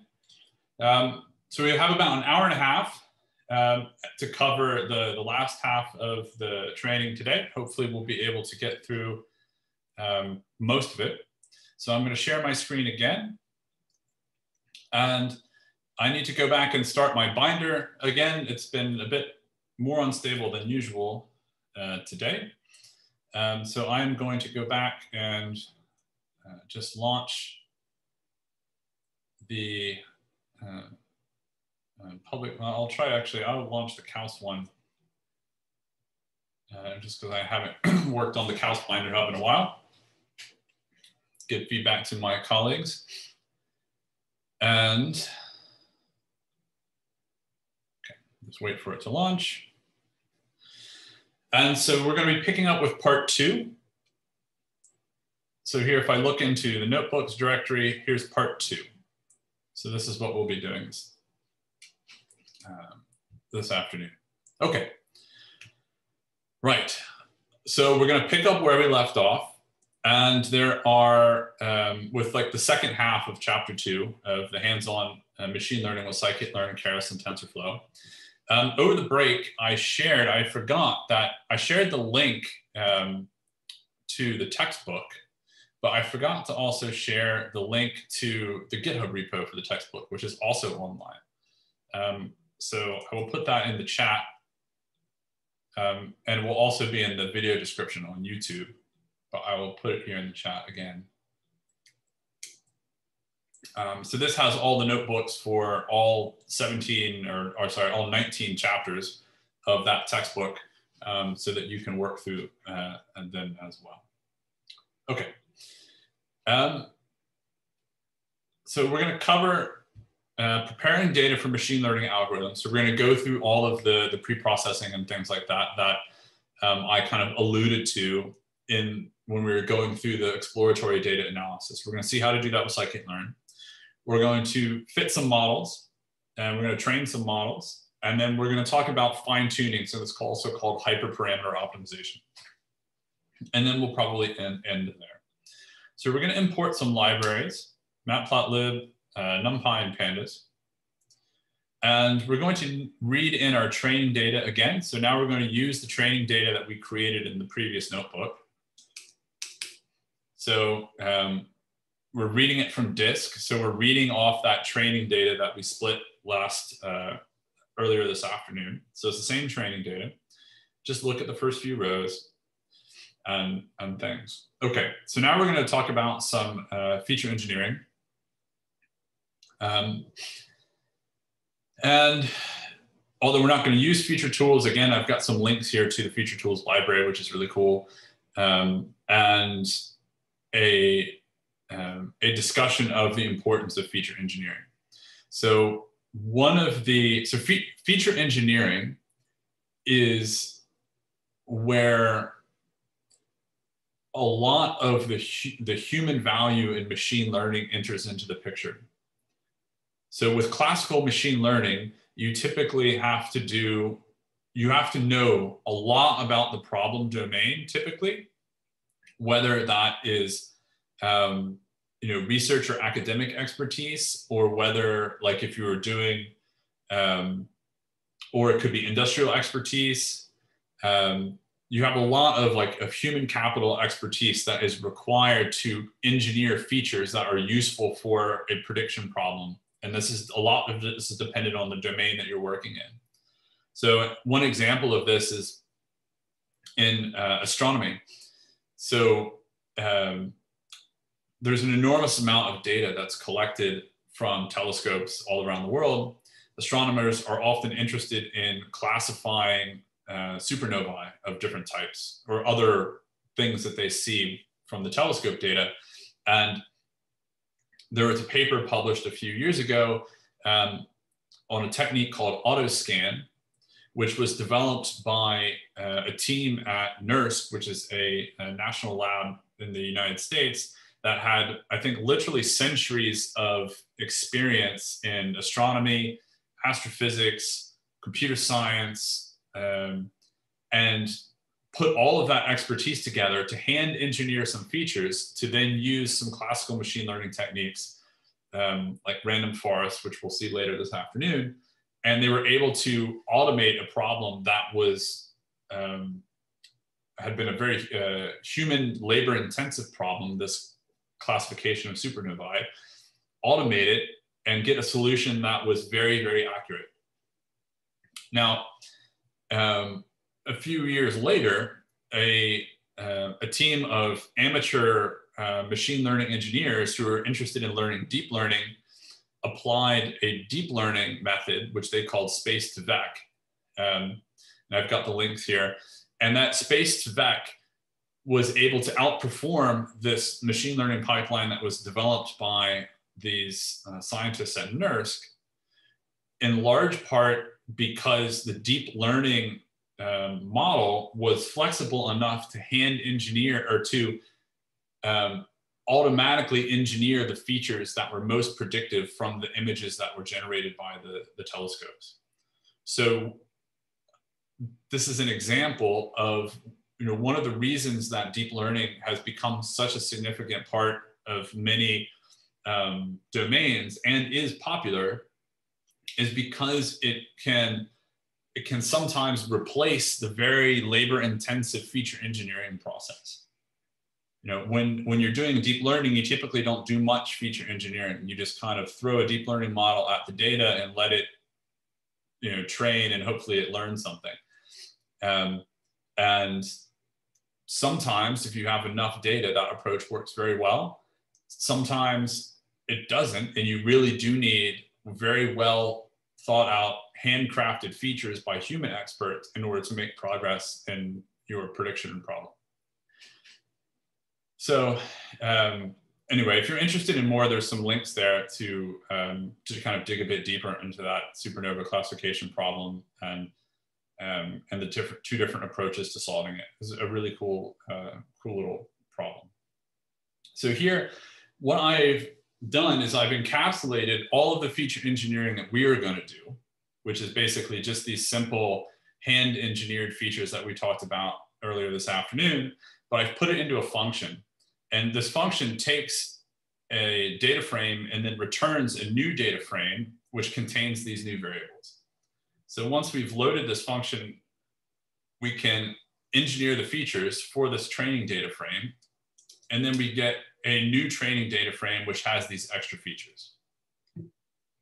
So that's what, uh, that's an example of normally this feature engineering step would be quite involved. There might be quite a lot going on in this engineering feature step, but I like to encapsulate whatever engineering I'm doing into a function and then apply that function to my data frame and get a new data frame. Okay. Now, data cleaning. So if we look at the descriptive statistics of our um, of our um, uh, our new training data frame with these extra features like rooms per household, bedrooms per room. Um,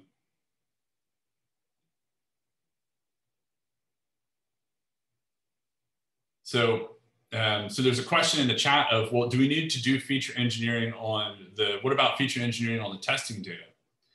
And the answer is we do feature engineering on both the training data and the testing data. So think of it as a pipeline. So when we're going to train the model, we start with our, our raw training data and it goes into a, a process. The one step in that process is feature engineering. Another step might be data pre-processing. Another step might be uh, um, model training and then model predictions and then you know assessing the model or something like this. When we go to use the pipeline to assess on the training data or the test data set, we will need to do any feature engineering and any pre-processing steps have to be applied in the same way that they were applied to the training data, they have to be applied again to the test data. Um, because the model, the trained model that we'll use to do make predictions on the test data expects the input data to be have engineered features and to be pre-processed and we'll, we'll see that um, as we go along. So that's a good question. So um, we had some issues with median house value and several um, other variables, median house age, median income. um, were truncated. So here we have these variables and they're all truncated. So they have this big spike here. So any house that was greater than 50 years in age was kind of lumped into this bin. Any house whose value was greater than 500,000 was all, they were all lumped together and that's this big bin here. And median income also seems like it's truncated. So like uh, census block groups with really high median income all seem to be lumped into um, the bin about 15, which would be 150,000 US dollars. So um, the easiest thing that we can do um, from a, a, modeling perspective is actually just to drop the data. So if we if we want our model to be able to predict values that are outside of like, um, if we want our model to be able to deal with data whose housing median age might be greater than 50, or whose median income might be larger than 15 uh, or 150,000 US dollars, or we want our model to be able to predict median house values that are greater than 500,000, then we need to effectively just drop, unfortunately, just drop these data observations or these data from the sample.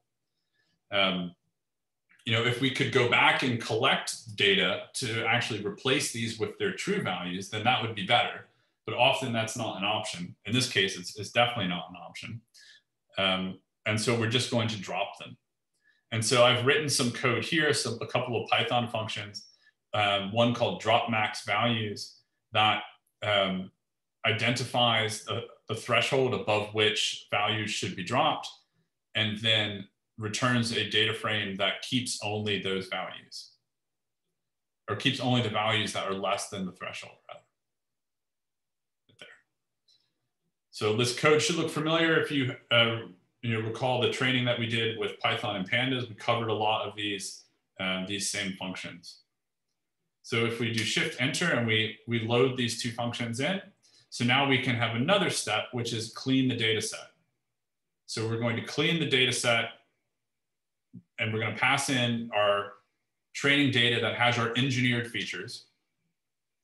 Okay, so now we have cleaned training data. And now if we look at these distributions again, you can see that there's no longer these big peaks. We basically, we dropped all of the, the values or all, all of the data samples that had those big peaks. Okay. Um, and so now we're going to separate our training data into our training features and our training target. And we're going to do this um, because we might want to apply different pre-processing or transformations to the, the features themselves and that um, apply another set of transformations or pre-processing steps to the target. So all I'm doing here is basically um, dropping the median house value from the clean data and calling that training features. And then I'm actually selecting the target value from the training target and so now we just have these two new variables. So now we're going to work with those. Okay. So now we need to talk about missing data. So there are some questions about missing data, and now we're going to talk about how we want to deal with it. So most machine learning algorithms don't handle missing data. So you, you have to, if you have missing data, you've got to figure out some way to handle it. Um, and there are basically three options. So you can drop the data. So basically drop any rows in your data set where that are missing data for any feature or attribute. Um, you could drop columns in your data. So then you drop the attribute or feature that has missing values. Or you explicitly decide how to fill those missing values. And um, you can do any of those approaches in pandas. So here's an example of, of um, dropping the uh, um, dropping training samples that are missing any values for total bedrooms. And so you can see when we drop the, um, when we drop any rows that are, um, let's do this. So I'm gonna add another, if we do training,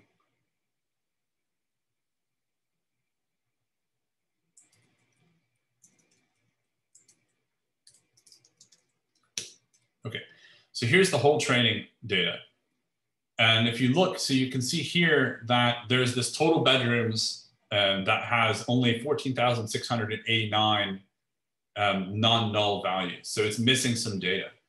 So we could drop all the rows that are, have missing values for total bedrooms. So this is option one. And so now you can see we have 14,689 rows. So it's the same number that we had here. We now dropped all the rows that were missing values in total bedrooms. And now we have the same number of uh,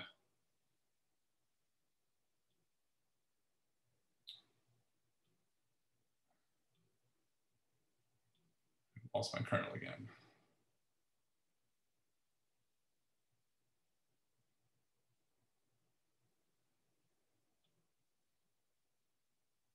Hmm. Let's see. I think I just lost everything that was going on.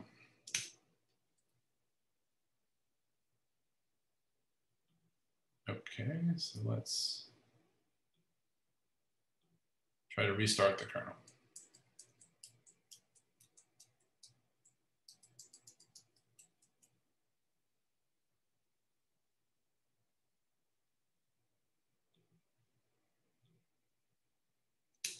Is anyone else having technical issues? Well, I'm just going to do this. All right, I'm going to open another instance on the public Binder Hub, and I'm just going to get rid of the other one. Not quite sure what is going on there, but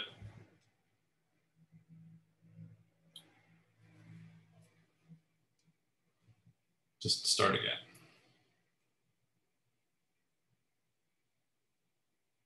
Okay.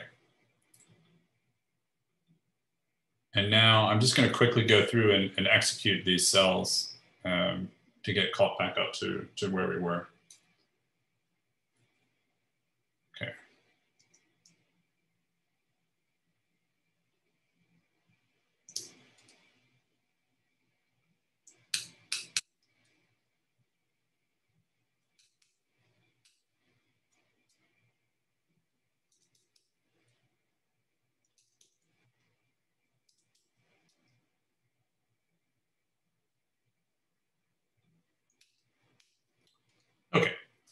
So we talked about dropping all the rows that had missing values. We talked about, well, we could drop the total bedrooms entirely. So now we just aren't able to use the total bedrooms um, uh, feature.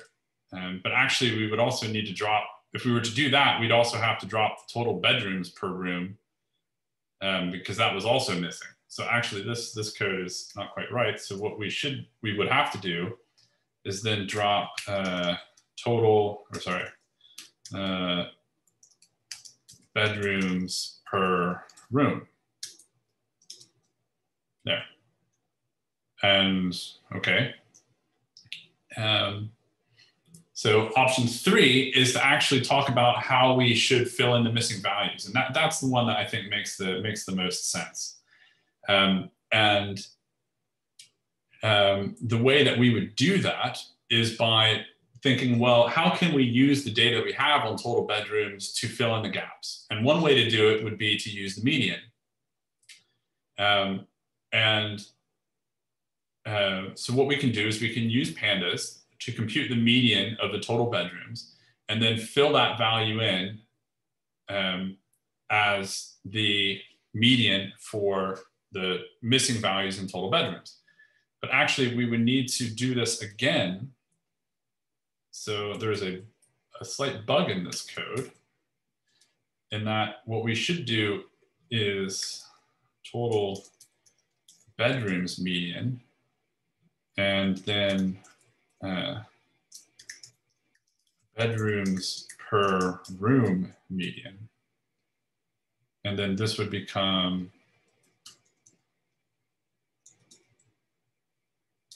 or what was yeah bedrooms per room bedrooms per room. So we have to compute two medians because we have two, two columns that have missing variables. And then um, we have to do two replacements. Now, what we're going to see in a minute is that scikit-learn makes it really easy to uh, really easy to do this without having to write this kind of code that I'm writing now, which um, can be buggy. Okay, so now if we were to do this, we would be computing two different medians whose values we would need to then save because we would need to use the same median values when we filled in missing values when we go to the test data. Yeah? So we'd have to save that. And, um, and then here we're replacing these uh, median values in different columns. So we've got a separate median value for total bedrooms that we're going to use to replace the values that are missing in that column, and then a different one um, in uh, the bedrooms per room column. So there's a question about why am I using underscore? So um, in Python, there's a convention where underscore is kind of like a, a private, a kind of like a, a, a protected variable or a private variable. Um, I use it when I'm working in notebooks. There are some variables that I intend to use in different across all the cells in the notebook. And there are some variables that I think of as being only relevant within that cell.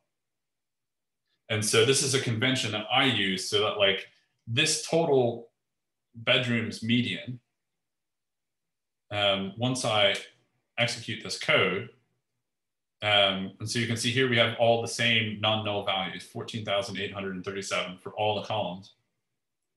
This variable is now can be used in any cell in the notebook, but any variables that I prepend with an underscore is like a reminder to me that that variable was really only supposed to be used within calculations within the cell. But it's a complete um, convention that um, is sometimes used, but often not. So you can, if you find it useful as a convention, then you know you can adopt it, um, or you don't have to worry about it. It's not a not a big deal. Okay, but this is a bit cumbersome because it requires writing a lot of code ourselves. Like, wouldn't it be better if there's a way to do this in an automated way? And there is. So scikit-learn has a module called impute. So impute stands for, or means um, filling in missing values. And so in particular, there's a strategy in impute, which is called simple imputer. And with the simple imputer class, you can use different strategies for filling in missing values. And so here we're gonna use the median strategy. So what this means is that um, this uh, simple imputer will be used to fill in missing values for all of the columns. So any column that has missing values, the missing values will be imputed using the median. And there are many other strategies that you could, you could look into. Um, and in fact, the, the strategy that you use to do the impute, the fill in of missing values can itself be treated as a hyperparameter and tuned in order to improve the overall performance of the modeling pipeline.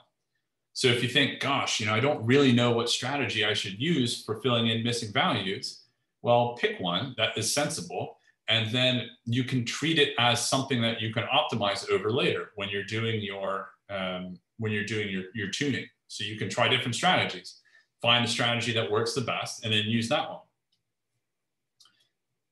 Um, right. So the simple imputer is the first kind of scikit-learn transformer that we've encountered. So now I want to talk a little bit about the scikit-learn API. So it's been very, very influential, um, in particular in Dask and NVIDIA Rapids. So uh, Dask, just open the Dask. Um, so Dask is a project for scaling uh, Pandas scikit-learn based workloads across multiple nodes in a cluster. So if you have really large data and you want to use this kind of Pandas scikit-learn APIs to uh, do machine learning on your really large data sets. Uh, you can use Dask to do that. And then NVIDIA Rapids is like scikit-learn, but on the GPU. So if you have access to GPUs, then you can install uh, NVIDIA Rapids and use a lot of the same kind of API for pandas and scikit-learn, but just have your code run on a GPU. So two projects that you should be, uh, you should be aware of. Okay, so the Scikit API or scikit-learn API is built around three concepts. So there's estimators, transformers, and predictors. So an estimator is any object that can estimate some parameters based on data. That's why it's called an estimator. Simple imputers are estimators because given some data, they will estimate the medians. Now, it's not a very sophisticated estimation, but it is estimating something from data. Um, the estimation itself is performed by the fit method. So all estimators have a fit method. And when you call it, it'll be dot fit, you give it some data, and it estimates some parameters. Um, so any parameter that is needed to guide the estimation process is called a hyperparameter. So for example, um, the strategy equals median is a hyperparameter for the simple imputer estimator. And so in addition to estimators, there's transformers. So some estimators are transformers. And what that means is that um, when you fit an estimator to some data or to data, it will estimate some parameters. If a um, if a uh, object is also a transformer, then it can transform input data with the fitted parameters to get output data. So for example, in, in the simple imputers case, simple imputer is a transformer because when given some data, it will be fit to that data with a particular strategy. And then when you use it to transform data, it will take data with missing values and transform it to data without missing values, where the missing values have been filled in with the given strategy. And finally, there's predictors. So some estimators given a, a data set can make a prediction. And there's a method called predict, which is used to uh, take a fitted estimator and make predictions given new data. And we're going to see examples of but all, all of these methods, fit, fit transform, and predict um, this afternoon. So let's see an example of this in action. So if we take our simple imputer and then we call the dot fit method with the training features data frame, uh, da, da, da. Ah, we get an error. And why have we gotten an error? Well, the error message is, is pretty clear. You can't compute the median strategy of non-numeric data, right? So since the median only exists for numeric features, we need to uh, basically split this process um, this missing values process into two, um, two pipelines. One to deal with the numeric features, one to deal with the non-numeric features. So we're going to drop ocean proximity and create a new uh, data frame called numeric features. And now when we fit the simple imputer with numeric features, we get, um, it fits it estimates the median for all of the numeric features in our data set. And we can look and find what those estimated medians are. So these are the estimated medians for all of our numeric features in the data set.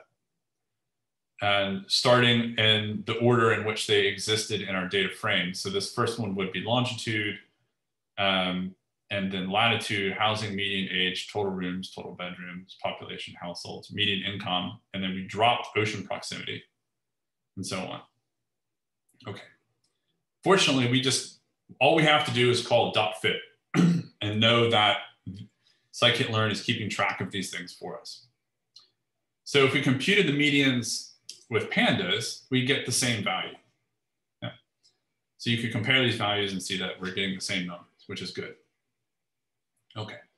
Now, we've estimated the medians, but we haven't actually transformed the data. So to do the transformation, we need to apply the transform method. So we take our numeric features data frame, which has missing values, and we call the simple imputer transform method, pass in the data frame, and get a data frame with no missing values. So here we can check whether any of the values in this numeric features data frame are not a number, are missing, and we get false.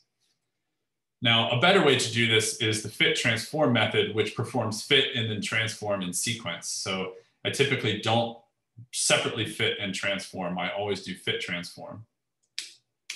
And you can see here, we get the same answers again. Okay, so that's an example of filling in missing values for numerical data. But now we need to handle the non-numeric features. So we have one non-numeric feature, ocean proximity. Yeah. And so now I, I basically selected out the ocean proximity column, and now I have another data frame, non-numeric features. Okay. Um, this ocean proximity is um, only takes a limited number of values. Um, and so now we need to do some pre-processing or we need to do some, um, we need to find a way to encode these non-numeric data as numeric data. Most machine learning algorithms don't handle strings. They need numbers. So how can we take uh, categorical data, non-numeric string data, and how can we represent it as numbers? So that's what we're going to talk about now. There are several ways to do that. Um, one way to do it, uh, well, and they're all, all the ways are stored in the scikit-learn module called pre-processing. So one way to do it is using something called ordinal encoding. So if we load the ordinal encoder, and then we call fit transform, ordinal encoder is a transformer, and so we pass in our data frame, uh, our, our non-numeric features data frame, which is full of strings, and we transform it by producing an ordinal encoding of our non-numeric features. And now we get numbers. And what this ordinal encoding has done is it basically just said, okay, well, less than um, um, less than one hour of the ocean can be zero, inland can be one, near ocean can be two, near bay can be three, and island can be four. And then I'll just go in and replace the strings with a number code.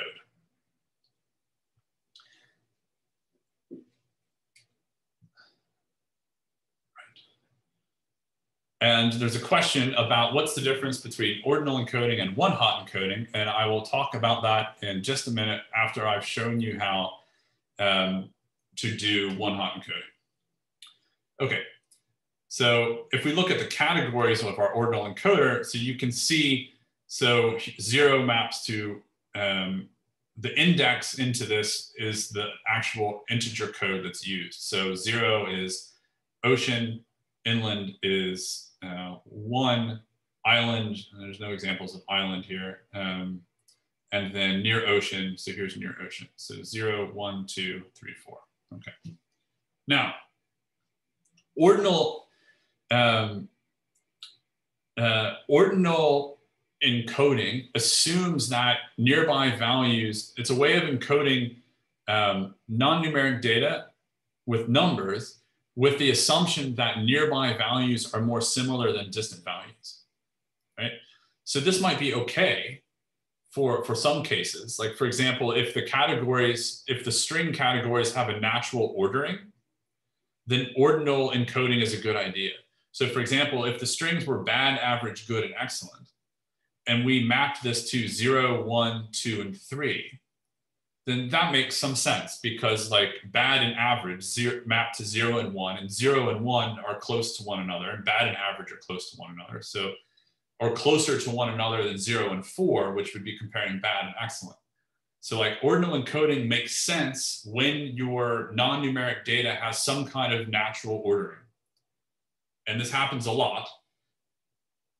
However, um, in this particular case, it doesn't really make sense, does it?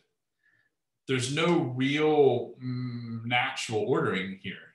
So you might say, okay, well, near water. So is there an, a way to order this such that, you know, things near the water are ordered? So maybe like islands should be, you know, islands are in the water and then uh, near the bay and near the ocean or near the water than within an hour of the ocean, and then inland is on the other end.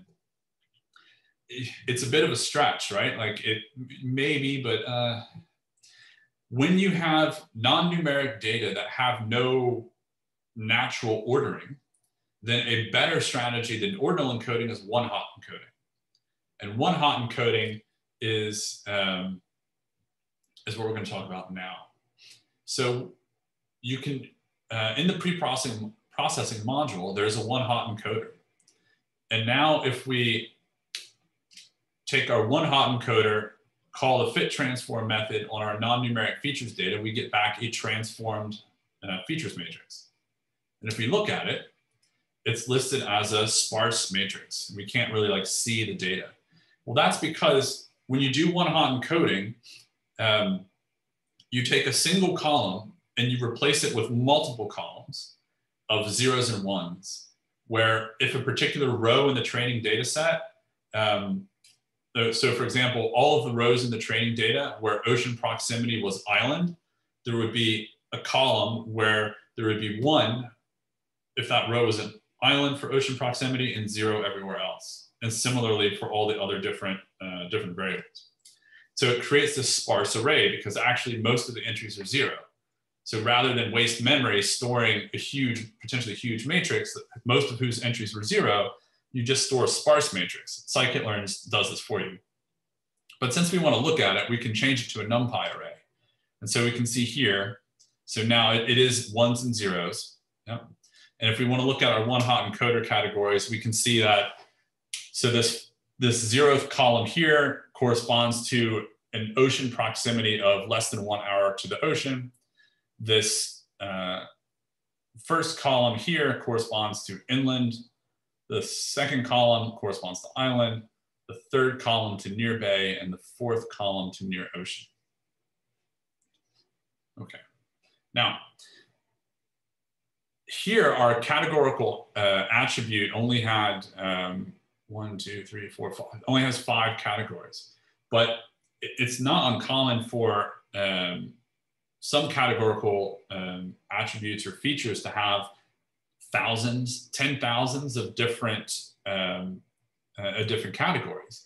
In which case, you take your a one hot encoding will take a single column of data and transform it into, if there were 10,000 categories, into a 10,000 column by however many number of training samples you have matrix, which is a big expansion in the number of features.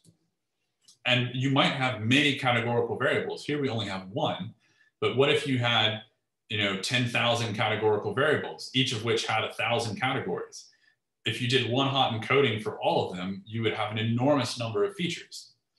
So in particular, when you have so many features, there are some machine learning algorithms that don't scale very well as the number of features gets larger. So there are advanced strategies where you can take these large um, um, matrices of one hot encodings or non-numeric data and um, use uh, deep learning uh, to embed these uh, feature, these, this high dimensional uh, one hot encoding space into a, um, into a lower dimensional subspace. And so basically, instead of having you know, tens of thousands of features, all of which are different combinations of ones and zeros, you uh, reduce the dimension of that feature space down to something like maybe 10. And there are classical machine learning techniques for doing that, but increasingly deep learning is used to, to do that. And this approach is called feature learning or representational learning. And it's covered in actually chapters 13 and 17 of the introduction to uh, or hands-on machine learning. So here we can just do one hot encoding and move on. But in many real world uh, problems that you might encounter in your research or, or in your job, you might end up with lots and lots and lots of variables like this, and then you need to know what to do. Okay, so, so now we've talked about different ways of encoding. And now we want to talk about feature scaling. So um, machine learning algorithms often don't work very well if the input attributes have different scales. So let's look at our training features again. Um, so something like population, you know, has a max of uh, 35,000 and a min of three. Uh, median income only ranges from uh, 0.49 or 0 0.50 to 13. So the ranges of these different variables are, are quite large. And that um, these different scales for your variables can lead to very distorted um, uh, feature space. And if we think of our um, um, our machine learning algorithms as optimization algorithms that are trying to find an optimal set of parameters inside this very high dimensional feature space, then what this means is that with variables of different scales, you have a lot of, um, of places where the algorithms can get trapped and not perform very well. So by rescaling the variables, making all the variables have the same scales, we can help our machine learning algorithms perform better. And so it's a very important step. And there are many ways to do it. You can actually treat your strategy of, um, um, of scaling the data as a hyperparameter. And you could try different ways of scaling the data. Like you could try min-max scaler, and then you could try um, um standard scaler. Uh, standard scaler is um, one I'll show you in a minute. Um, but you could just try different ones and take the one that performs the best when we get to hyperparameter tuning. So a min-max scaler is going to scale all the variables to be between zero and one by default, or some other um, min and max if you wanted to choose a different min and max. So if we did min-max scaler, and now if we do um, fit transform on our data that has no missing values now, so this is like step two in the pipeline. So the first step was filling in the missing values. The second step is doing the rescaling. Then we can look at the min and the max. And so now we get, we've transformed our data that has no missing values into a scaled version of that data. And so these are the mins and the maxes that were used in the, um, the rescaling. And scikit-learn saves these because we're going to use these same mins and maxes when we do the rescaling of the testing data. So that's very important when we, um, it's, it, you think of this as part of training the model. So when we go to assess the trained model on the testing data, we have to make sure that we use the same estimated parameters for even the pre-processing steps that we estimated on the training set when we go to the test set. Okay. Um, so what happens? So what happens if you have an attribute that has outliers and you apply min-max scaling? Well, let's look at a plot. Okay.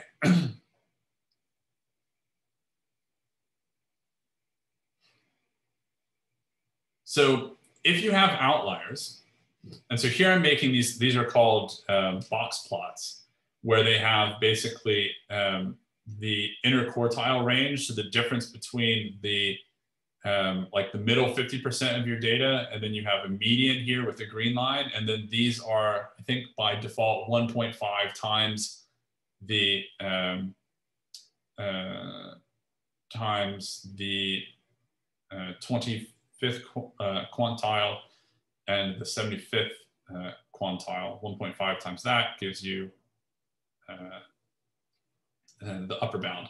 It's a way of spotting outliers. So basically all these little black circles are potential outliers in our data.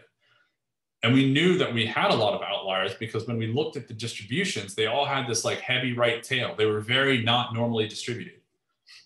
And so when you have a lot of outliers and you apply the min max scaler, that doesn't do anything um, that doesn't help you deal with these outliers. The min max, all it does is basically rescale these ax axes so that instead of different scaled axes all the way around, you would have um, zero to one common scale across all of these variables. But you would still see the same box plots here. with outliers and everything. A better way to, to, when you have outliers that you want, or distributions that you want to make them appear to be more normal, then you can do the standard scale. And so here, that's what we're gonna do. We're gonna do uh, standard scaling. So if we do standard scaler, and then we do the same thing, we do fit transform, and then we can look at the mean and the scale parameters. So these are like the means and the standard deviations.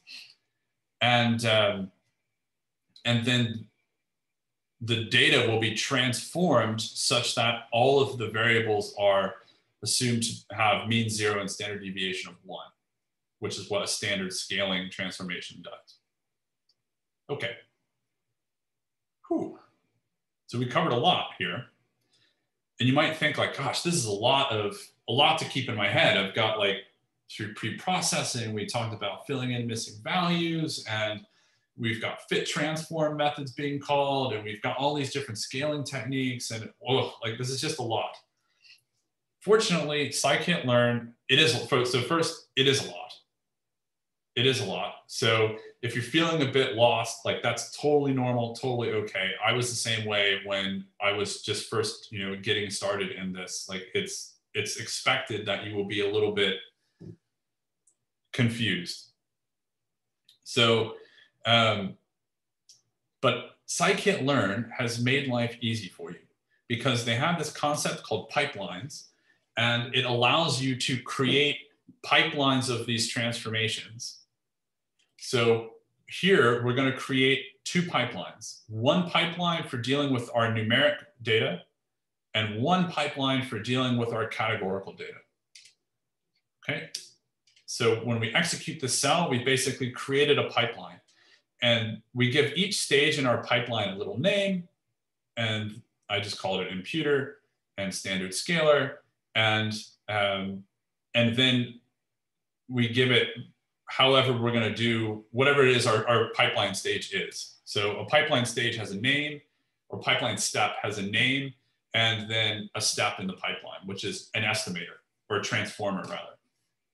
And so we're going to put our, you know, so I'll just put a little note here. So handle missing values, um, and then rescale the data. Okay. And then for our um, categorical pipeline, we, we just have to do uh, one hot encode. So um, encode our non-numeric data. okay. And here we don't actually have any missing values for this, um, for this variable. But if we did, we'd also have um, um, another, we could just have another st strategy there.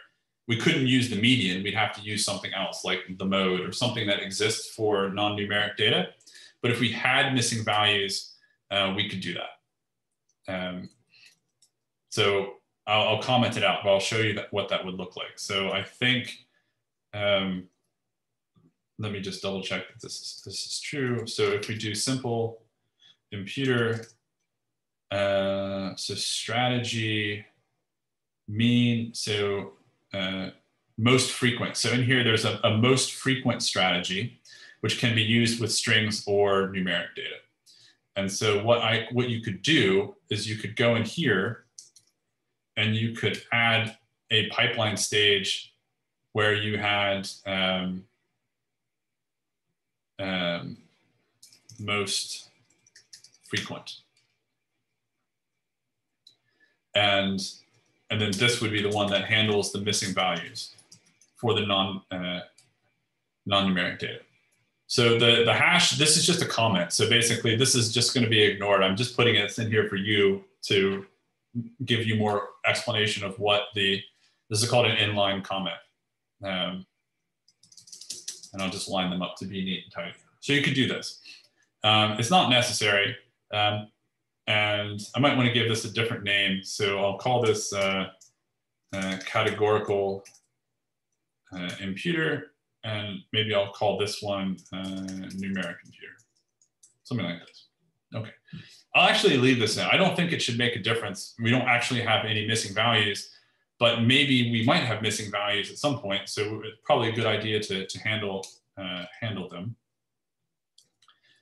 Um, and now we can actually combine these pipelines using something called a column transformer. So there's a compose module in scikit-learn that allows you to compose transformers together. And so now we, we're going to create a list of our numeric uh, attributes and a list of our categorical attributes. And then we're going to create this column transformer.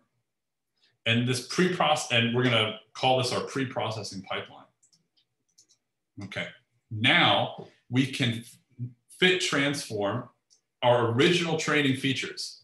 Now remember, these original training features have, we've done feature engineering already, yeah? but these training features have missing data, they're not scaled properly, um, they've got all sorts of problems. But now that we've created our pre-processing pipeline with basically these two cells and one line of code, we can um, prep our data. We can fill in the missing values. We can uh, and fill in the missing values using different strategies for our numeric data versus our categorical data. Then we can do um, uh, for our categorical our numeric data, we can do rescaling. And then for our categorical data, we do a one hot encoding. And then if we look at our uh, pre-processed training feature, or now we have this NumPy array. And um, then here, um, I'm basically converting. So scikit-learn can take in pandas data frames, but it works with NumPy arrays. So basically, once the data frame goes in, it's going to end up being an array. Um, and um, so here, basically, this code is just for, for teaching purposes. It converts the um, it converts the array back into a data frame so that I can just show you what it looks like because it's more it's easier to look at the data frames in a notebook than it is to look at arrays. Um, so for example, if I was to put, if we were to just try to look at this, we'd see that this is a NumPy array. So like it's hard to really look at, visualize what it is.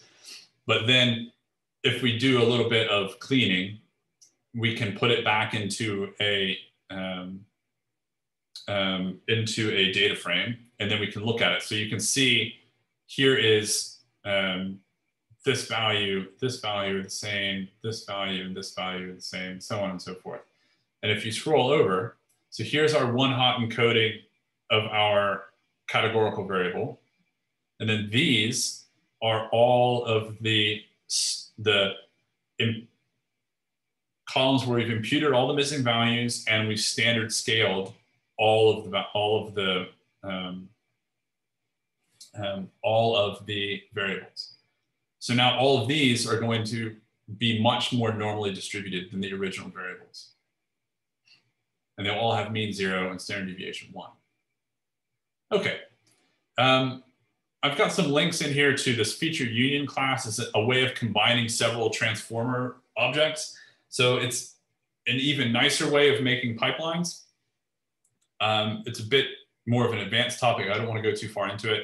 Um, there's a nice little, so I, but the links are here. So like if you want to go and click the link, you can read the documentation about even more advanced features for building up these pipelines. But when you're working with scikit-learn, you really want to be thinking in terms of pipelines. You've got raw data. It needs to go into a pipeline where we're going to do some filling of missing values, some rescaling, some maybe some feature engineering. Uh, although we didn't incorporate the feature engineering as part of the pipeline, you could. Um, and think in terms of pipelines. And eventually, out of the other end of the pipeline is going to come some predictions. So we can visualize these things. So here's some code that basically um, know, sets a configuration value in the scikit-learn config file so that when we um, when we look at the pre-processing pipeline, it gives us this nice um, um, graphic. So we have um, um, and you can click it. So we've got our simple imputer and we can see kind of what hyperparameters were set for that. Same with the standard scaler, one hot encoder. And then you can even click on the column transformer and you'll get basically the code that was used to create the column transformer, things like that. So it's a nice way to visualize what could be a very complicated pipeline. Okay. So now we've, we've, we're done with our pre-processing. So now we're actually ready to train a model. Yep. So we've got about 45 minutes left. And I think this is, a, again, um, a fairly accurate uh, reflection of the amount of time that uh, you will spend on data analysis and pre-processing relative to um, actually fitting the model. Okay, so, but now we are ready to fit a model. So let's do it. So let's start with the simple model, simple linear regression. Now, I'm not going to dive in, I'm not going to dive into the details of the different algorithms. So um, I'm going to go through and show you how to fit different algorithms of varying levels of complexity. Um, but the textbook has a whole chapter on each of these kinds of algorithms. So if you want the details on the um, on the algorithms themselves, I'll refer you to the relevant chapter in the textbook. So here I'm just going to go through how to fit the models. So uh, scikit-learn has a linear model package, has a whole bunch of stuff in that package. One of the models it has is just linear regression. And once you've created a, a variable called regressor, or call it whatever you want, I like to call it regressor, and then you instantiate the linear regression class, it has a fit method. A regressor is an estimator, so it has a fit method, and we pass in our features and our target, and that's it. So that's fitting a model. So once you have pre-processed the data and once you've selected your model, fitting a model in scikit-learn is usually like two lines of code. Find the model, fit the model, two lines, done. Um, and for a data set of this size, the, the fitting, the training of the model, the estimating of the model parameters takes like, it's instantaneous. Okay, so now we need to evaluate our model and we wanna use root mean squared error. So let's evaluate it. So we have our trained model and we're gonna call the predict method and here we're going to compute an estimate of the training error. So this is going to be the root mean squared error on the training data set. So we pass in our training data and we get predictions for the model. And then we use our metric, which will be mean squared error. We pass in the true values and our model's predictions. And that gives us a mean squared error. And then we take the square root of that to get the root mean squared error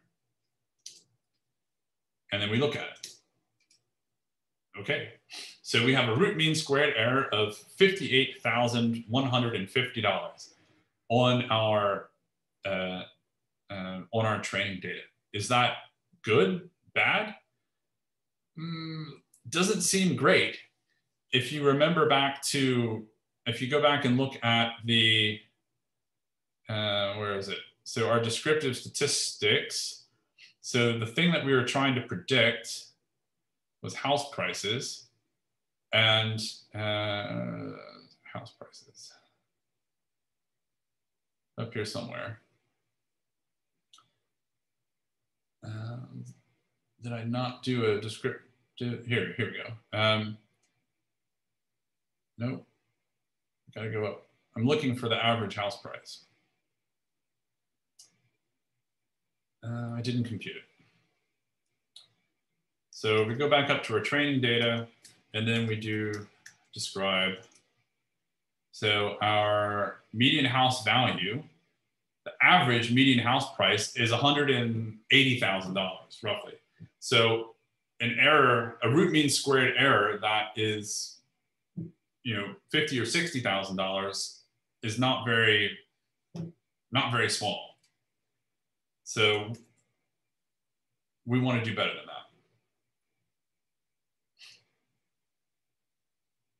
that. Uh, sorry, I won't go back up there again. It's too far.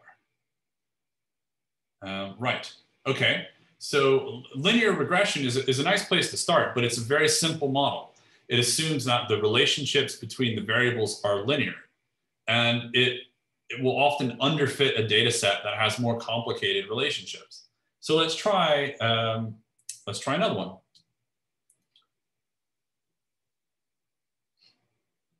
Um, so there's a question in the chat, um, can't we calculate an accuracy percentage? So accuracy is a, a, suitable metric for classification problems, but here we're doing regression. So um, it doesn't make sense to calculate the accuracy as a metric of a regression problem. So let's do another one. Um, so there's a question, can't we do support vector regression? Yes, we could. Um, and uh, not sure I could do that anywhere, but yeah, we can do that. Sure. Um, but let's do decision tree first. So there is a, uh, a package called trees for fitting something called decision tree regression. Um, it's a very powerful model capable of finding very complex nonlinear relationships in the data. So let's fit it. So now, in, notice that the difference between this code and this code is just this. Instead of linear model dot linear regression, our regressor is now tree dot decision tree regressor, and the rest of the code is the same. So let's fit our decision tree regressor. Done. Um, let's make predictions, compute the metric, Boom, zero. Wow, that's very small. So what does this mean? So we fit this decision tree regressor, it has zero error on the training data set. So what does that mean? Is that fantastic? Should we just declare victory and, and, and move on? Well, no. I mean, the, the reality, exactly. So the reality is that this model is massively overfitting.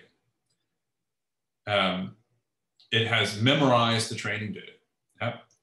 And when you're getting started, so this is this is um, this is on the this is the root mean squared error on the training data. So we basically just fit a model that just memorizes the training data. That's what we've done.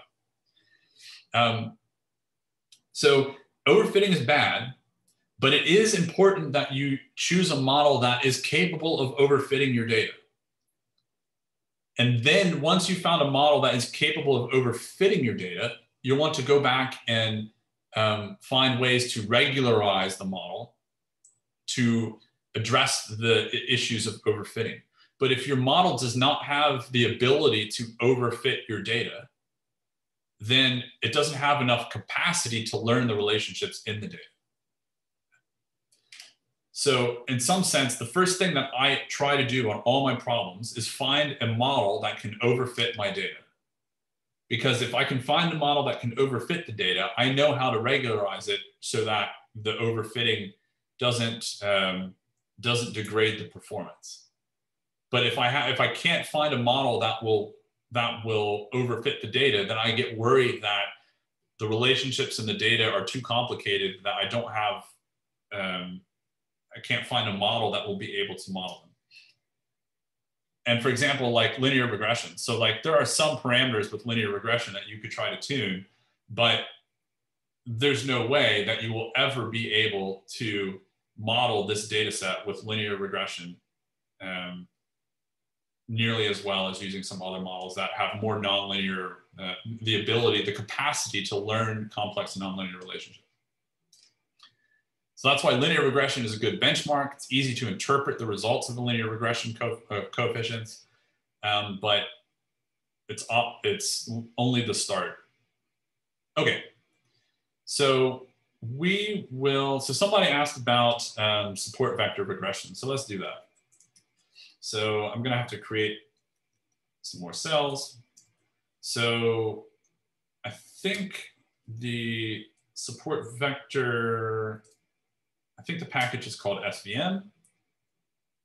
And then in SVM, I think we need a support vector regressor. So let's see if this works. So we get a warning, but that's okay.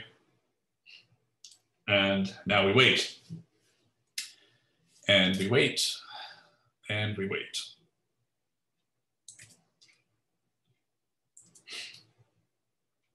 Okay, now, what did you notice about the, uh, well, let's look at, let's see how well it did first.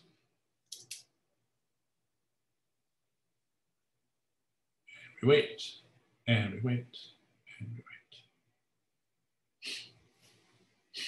Now, what is what is you noticed about the support vector machine?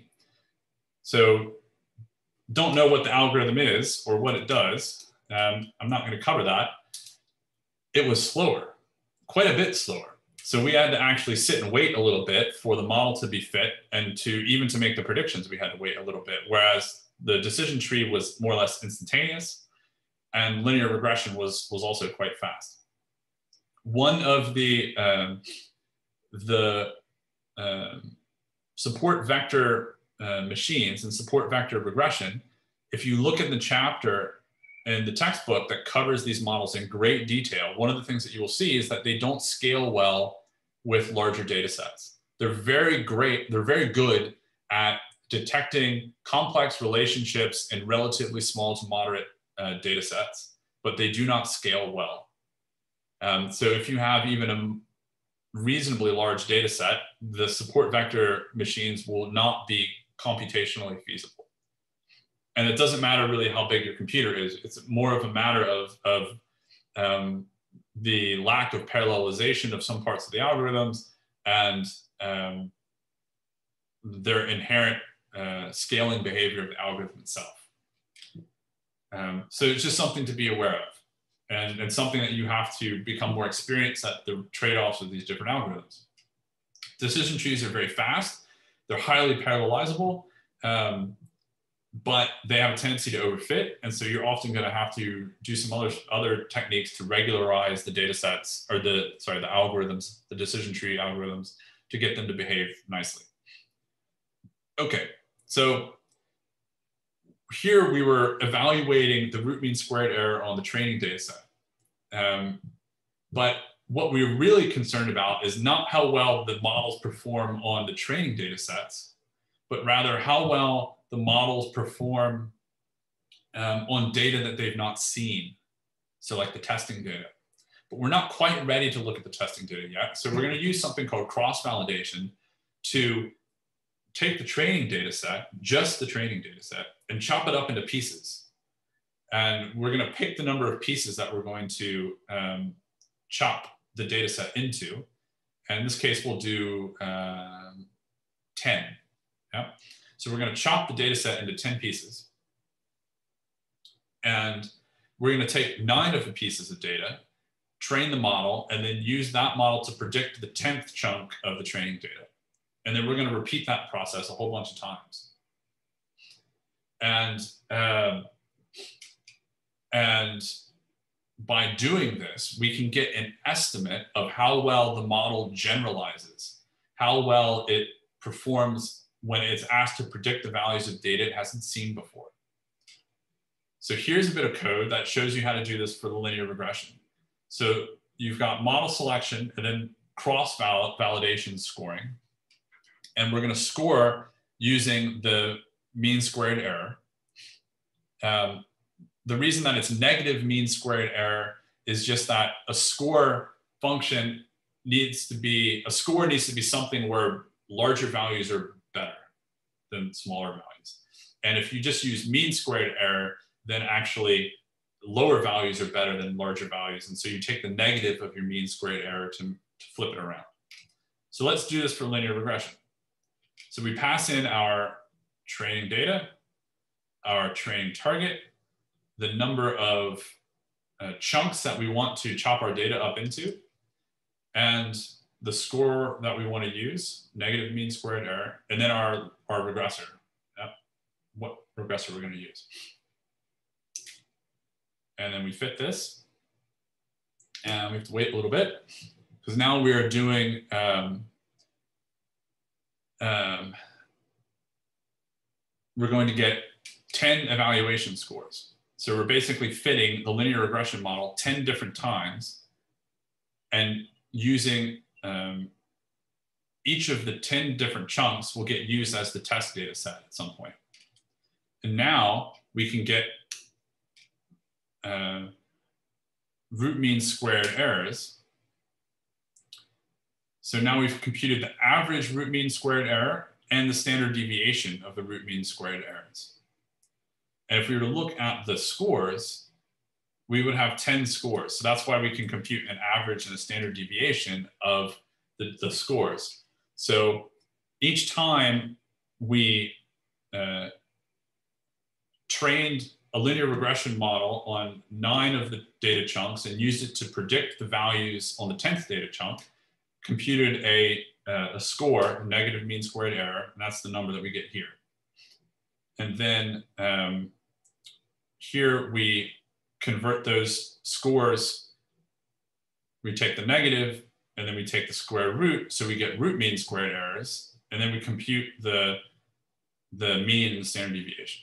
Okay, so this is just a way to kind of assess performance. Now let's look at the decision tree. So we're gonna do the same process again, but with the decision tree. So remember, when we fit the decision tree to the training data without any kind of cross-validation, it just memorized the data set. But now when we do this cross-validation, what we see is that when you do cross-validation and you, you, you train the model on nine chunks of the data, the decision tree memorizes those nine chunks, but then when you ask it to predict on the 10th chunk, it does really poor job because it's overfit. And you actually can see that now the decision tree model looks worse. It has a higher uh, average root mean squared error when you do this cross validation score compared with linear regression. So our decision tree model went from looking awesome to actually looking not awesome. Okay, now, so what about a better way? Is there some other way that we could um, we could model this data? So now we're going to look at random forest regression. So random forest regression, it takes the decision tree idea and says, well, instead of using just a single decision tree, what I want to do is I want to create a forest of, of randomly generated decision trees and um, train all these different models and then average the predictions of these model of these different models together to come up with an overall prediction. So it's a technique of ensemble learning, which is a great uh, and it's a great approach. Um, it's usually my benchmark for both classification and regression problems is to start with random forests. So here we will fit our random forest model. And it takes a um, you know, takes some time. Um, even though it takes time, what's interesting about the random forest models is that it's highly parallelizable because it creates this forest of decision trees. So by default, it fits 100 different decision trees to the data. Um, but each of those decision trees can be fit in parallel to the other decision trees. So actually, actually, if you wanted to, it's so this this algorithm scales very well to large data sets and also lends itself to being distributed across even multiple nodes um, um, in a cluster. So you can use random forest regression to fit um, models with uh, terabytes uh, of data um, using something like Dask.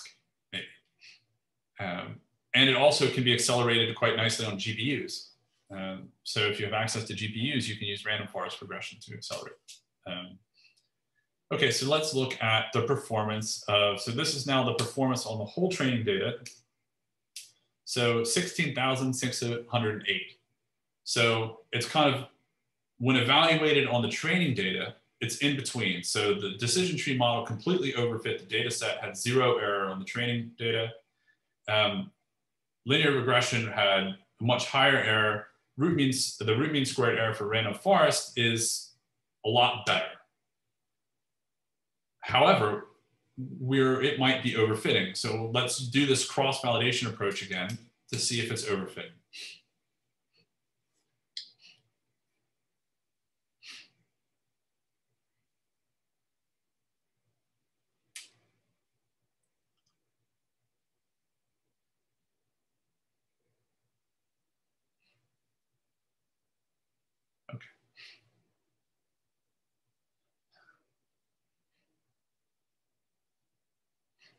So now we're, we're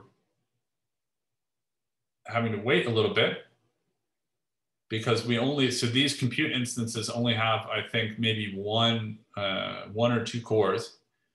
Um, so even though this, this model itself can be parallelized very well, um, we don't have a lot of cores to use to do the parallelization. Um, but if you have access to you know a machine with more cores, then this training process can go very quickly.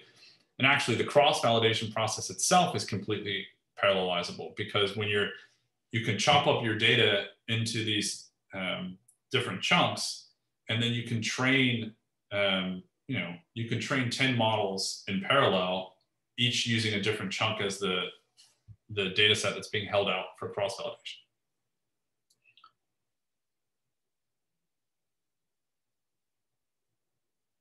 So there are two questions in chat. Um,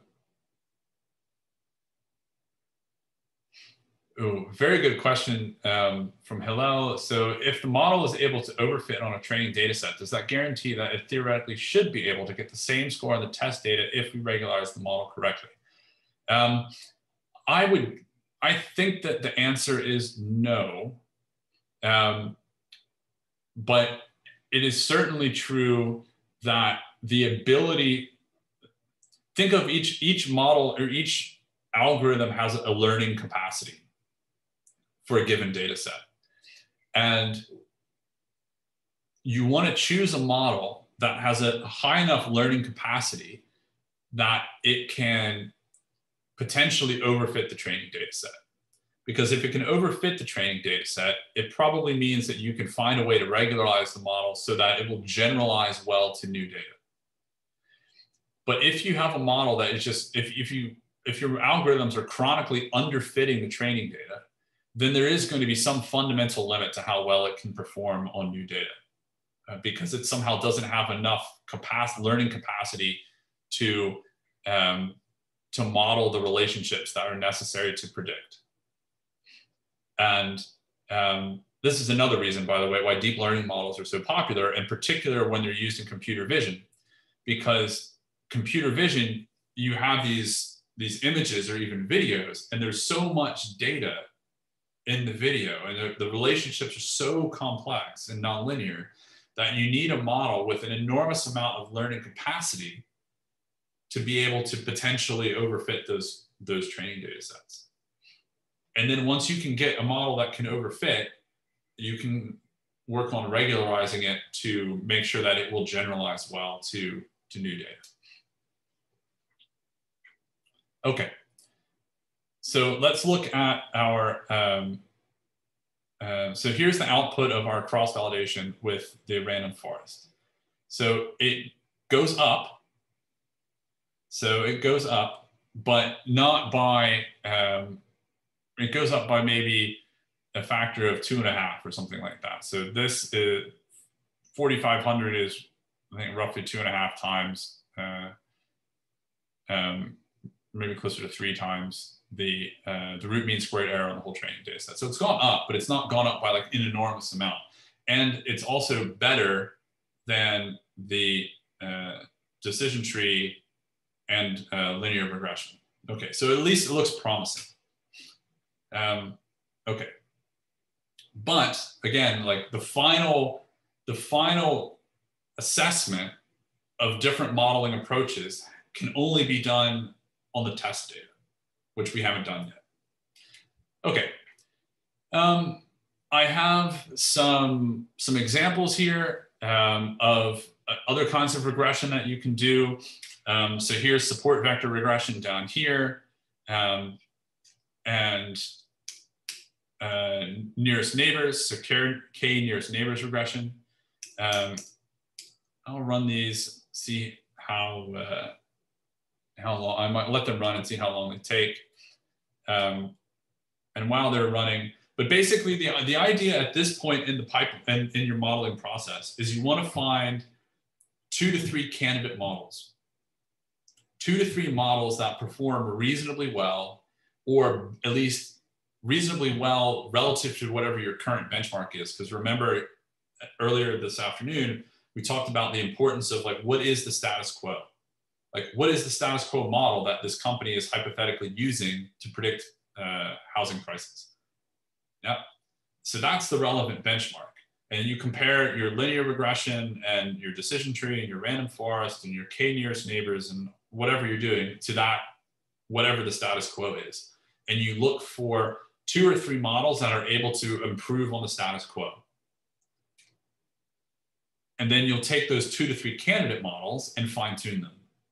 And that's what we're going to talk about next. So fine tuning is this is where um, you would be doing your regularization, guarding against overfitting, and, and just generally improving overall model performance. And um, I will, I think I'm just gonna stop this. Okay, so I stopped this because um, I'm not sure how long it's going to take, and I want to get through the rest of the content here. Um, but if I think, if I remember correctly, if you run these models, you will find that um, uh, basically K, K nearest neighbors, random forests, and support vector regression do um, um, do reasonably well and are good candidate models to kind of continue the process of fine tuning. However, there's a wide difference of um, compute performance. So the random forest ones are going to be the fastest, the most parallelizable. Um, I think the support vector regressions are the least, are the slowest. They don't scale nearly as well. And k nearest neighbors is somewhere in between, if I recall. Um, but you, you can run those codes um, um, yourself.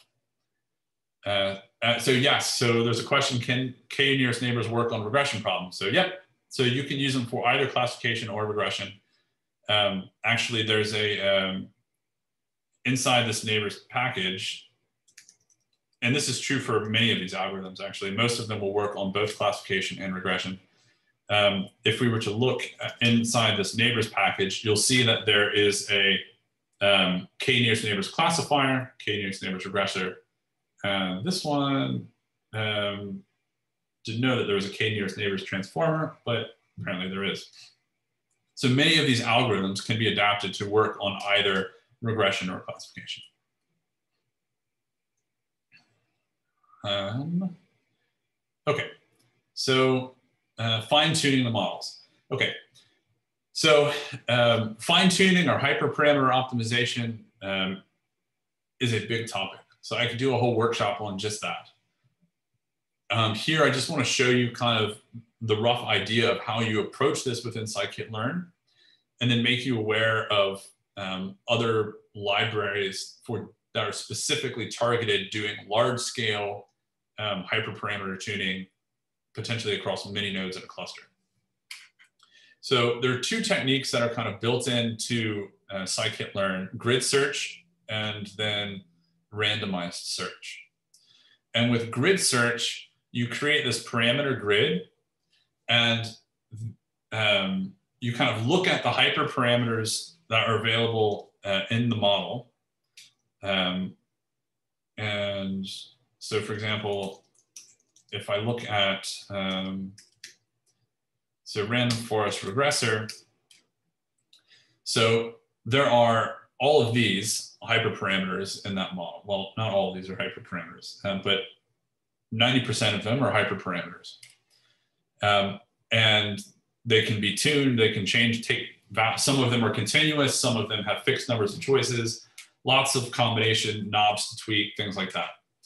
So what you can do is you can create these little dictionaries of combinations of parameters to try. So this one, I'm basically saying, well, let's create a grid where the number of estimators is going to be 10 or 100. And then the maximum number of features is going to be the default setting, which is auto, and then um, the square root of the number of features or the log base two of the number of features. So um, these are the, the parameters that are governing the maximum features that can be in any particular decision tree that makes up the forest.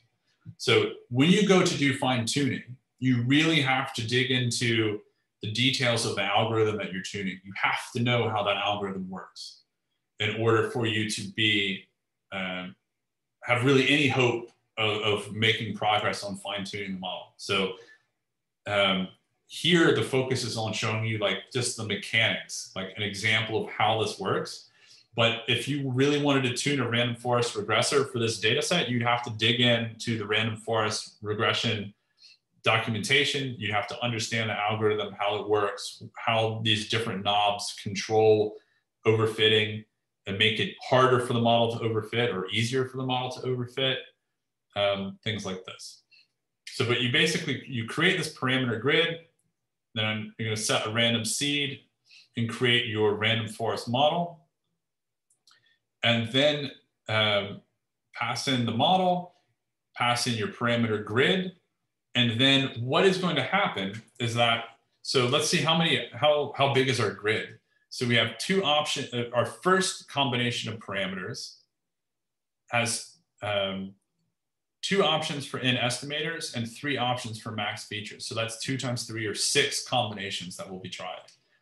This second group of parameters is forces a single value for this bootstrap hyperparameter, two values to try for n estimators, and three values to try for max features. So that's one times two times three or six. So in total, there will be six plus six equals 12 different combinations of hyperparameters that we'll, we will try. And for each of those 12 parameter combinations, we are going to do five-fold cross-validation to assess the, um, to score the model. Just like we were doing this, um, just like we were doing up here with a tenfold CV, we're going to do the same for each of the 12 combinations. So there's quite a lot of computation that's going on here we have um, five-fold cross-validation and 12 different parameter combinations are going to be tried. So the overall number of models that are going to be fit here is going to be 5 times 12, or 60. And so you can see how the computation requirements for hyperparameter tuning can explode very quickly. So even with just this little bit, we're doing training 60 random forest regressors with different combinations. But you can also see how powerful scikit-learn is and that this is like 10 lines of code to do that.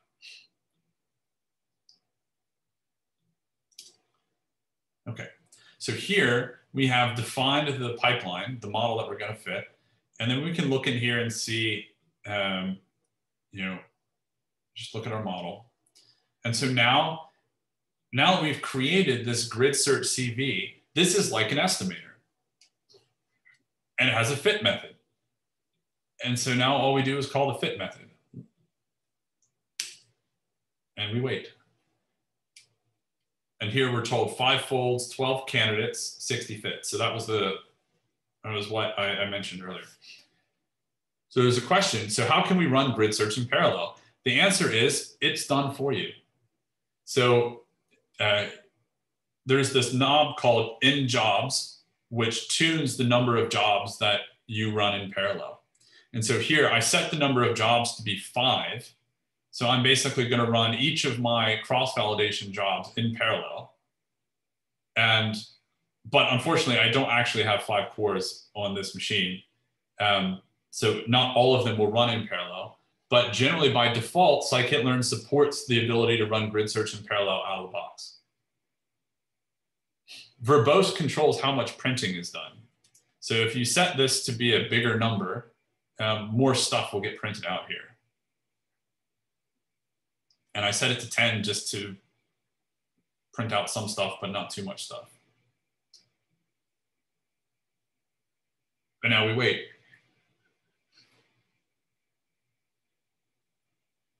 And so while we wait, I'll just queue up those cells for compute. And then um, I'll talk about randomized search and then I'll come back to the grid search.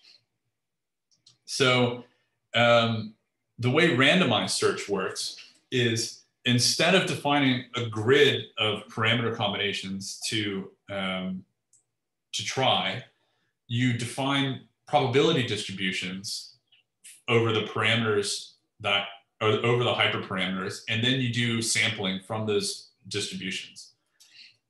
So um, so when you so one way that you can do that is using SciPy stats, and you can sometimes it takes a little bit of thought to find an appropriate probability distribution for your um, for your parameters. So some parameters are continuous, and so it's a little easier, but some parameters are discrete, and you've got to say, well, how do I define a, a discrete probability distribution that I can sample from? And it's a little complicated. Um, but it's a it's more efficient because with randomized uh, search, you define the number of samples of these of uh, that you want to take. So here, the computation cost is much lower, and I'm randomly sampling the the space of hyperparameters, and it's sometimes a more efficient search strategy. Okay, so if I go back up here, um, I have so I did my grid search. When it's finished, I can get the best score from my grid search CV, convert it to root mean squared error, find out that with this grid search, I was able to get 44, uh, 44,000, almost 45,000 root mean squared error. So that's not really any better than what I got before. Um, so in this case, fine tuning with this simple grid search strategy wasn't able to find a better set of parameters than the default set of parameters. Yeah, and that happens. That happens.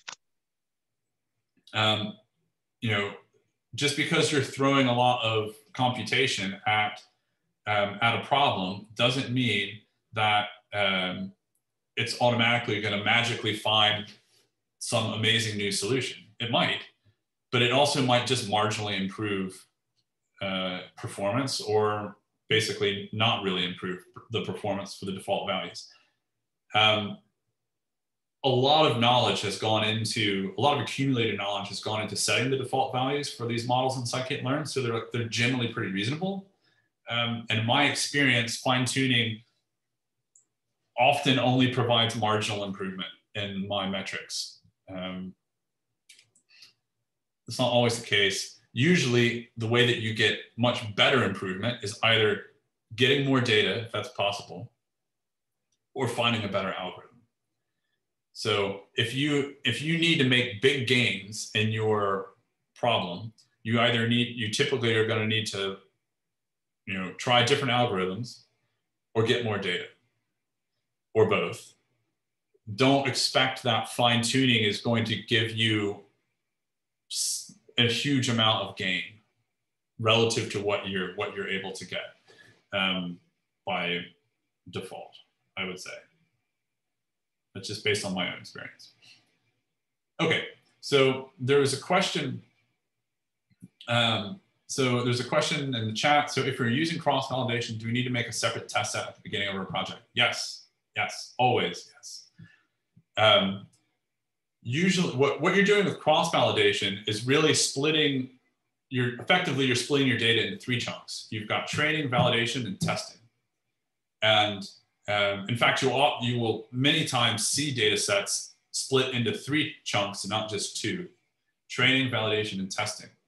And that's useful if you don't have tools like cross validation and scikit-learn to um, that will help handle all of the additional complexity of cross validation a simpler way to do it is always split your data into three chunks, train your model on the training data, tune your hyperparameters on the validation data, and then assess your models on the train on the testing data. but you always, always, always need to set aside a test data set.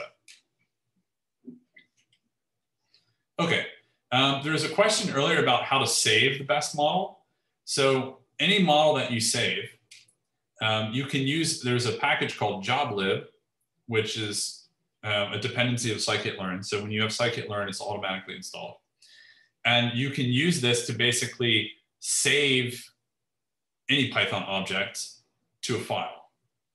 So what we can do here is I've just basically created a timestamp, and now I'm going to use um, this joblib to dump my trained model, GridSearch CV, to a file with a particular timestamp. So that way I know when this model was done.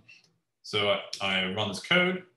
And now if I was to look in the results directory um, and the models directory, so here's this file that I just created.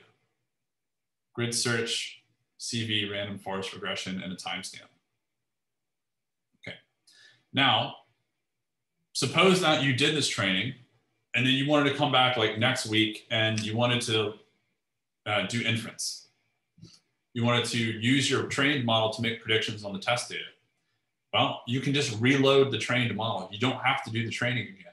You've already done the training. You save the trained model, which now has the, the saved parameters in it, and you can just load it. And then once you've loaded it, it's basically the same model that we had up here. It is the same model that we had up here. Yep.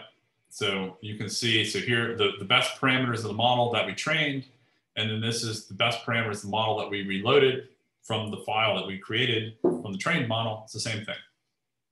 Okay. I'm going to skip the randomized search because we're, we're basically out of time and I want to show you how to, um, I want to show you, uh, all right. I want to show you how to do inference, how to predict on the, the training data. Um, okay, we're going to have to skip this section so that I can show you how to do the prediction. But um, analyzing the best models and their errors is a really important step. Unfortunately, we've just run out of time. Um, one of the nice features about the random forest regressor is that it has this thing called feature importances which you can dig into the chapter on random forest regression to understand how these feature importances are calculated. But it tells you kind of how important the features are in the overall prediction. So you can look at, uh, oh, bother. need to change this to grid search because I didn't do the randomized search. So here's what the feature importances look like. So median income has the highest feature importance. So it's the most important variable in predicting house prices according to our random forest model. Inland, remember that was one of the categories of our ocean proximity is the second most important and so forth. And some of these, some of these features don't appear to be terribly important at all. You might want to consider getting rid of them and re refitting the model or maybe trying to find a better encoding of the ocean proximity variable besides the one hot encoding, things like this. Um, right, okay. So I think this uh, creates, I'm gonna change this to grid. And then this plots some uh, prediction errors. So you can see the prediction errors have lots of outliers. Um, so if your predictions have a lot of outliers, then you can kind of go back and look at the associated training samples with where your model predicts very poorly and try to find out like what's going on. Um, and uh, so here's an example of how you could look for census block groups where the model under predicts or over predicts. Um, yeah, there's some other stuff in here. Um, right, okay. But sorry, I had to breeze, I had to go through that very quickly. I want to show you how to do uh, evaluating the system on the test set, because this is the most important, this is the last important thing that you have to do. So we first, we need to load the testing data set. So this is the, the split of the testing data set we created earlier this afternoon, and now we're ready to actually use it. Now, we take our testing data, we engineer the features. we take our uh, engineered features and we clean it. Then we, so then we take our cleaned uh, testing data and we break it into our features by dropping the median house value and our target. And then we take our pre-processing pipeline that we fit on the training data and use it to transform the testing features. We don't call fit transform, we call transform. And that is critical. So do not call fit transform.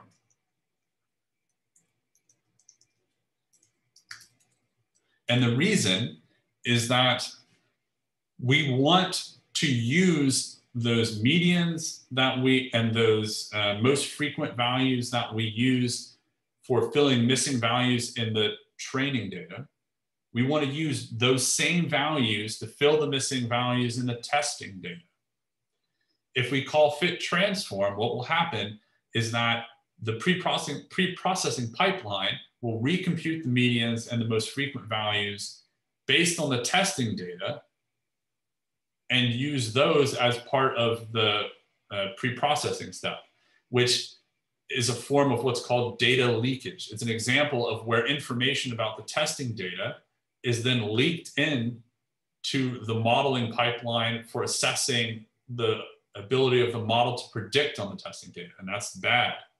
That's a, a way to get an inaccurate assessment of how well your model actually performs.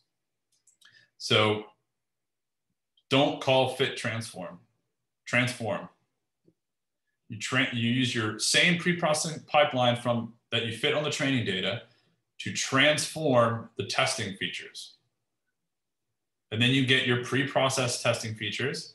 And now we take our, our grid search, because I didn't fit the randomized search, um, and we take the, the best estimator and we use it to predict on our pre-processing testing features and we get our predictions. And then we can compute the, uh, whoop, and we can use them to compute the root mean squared error on the testing data.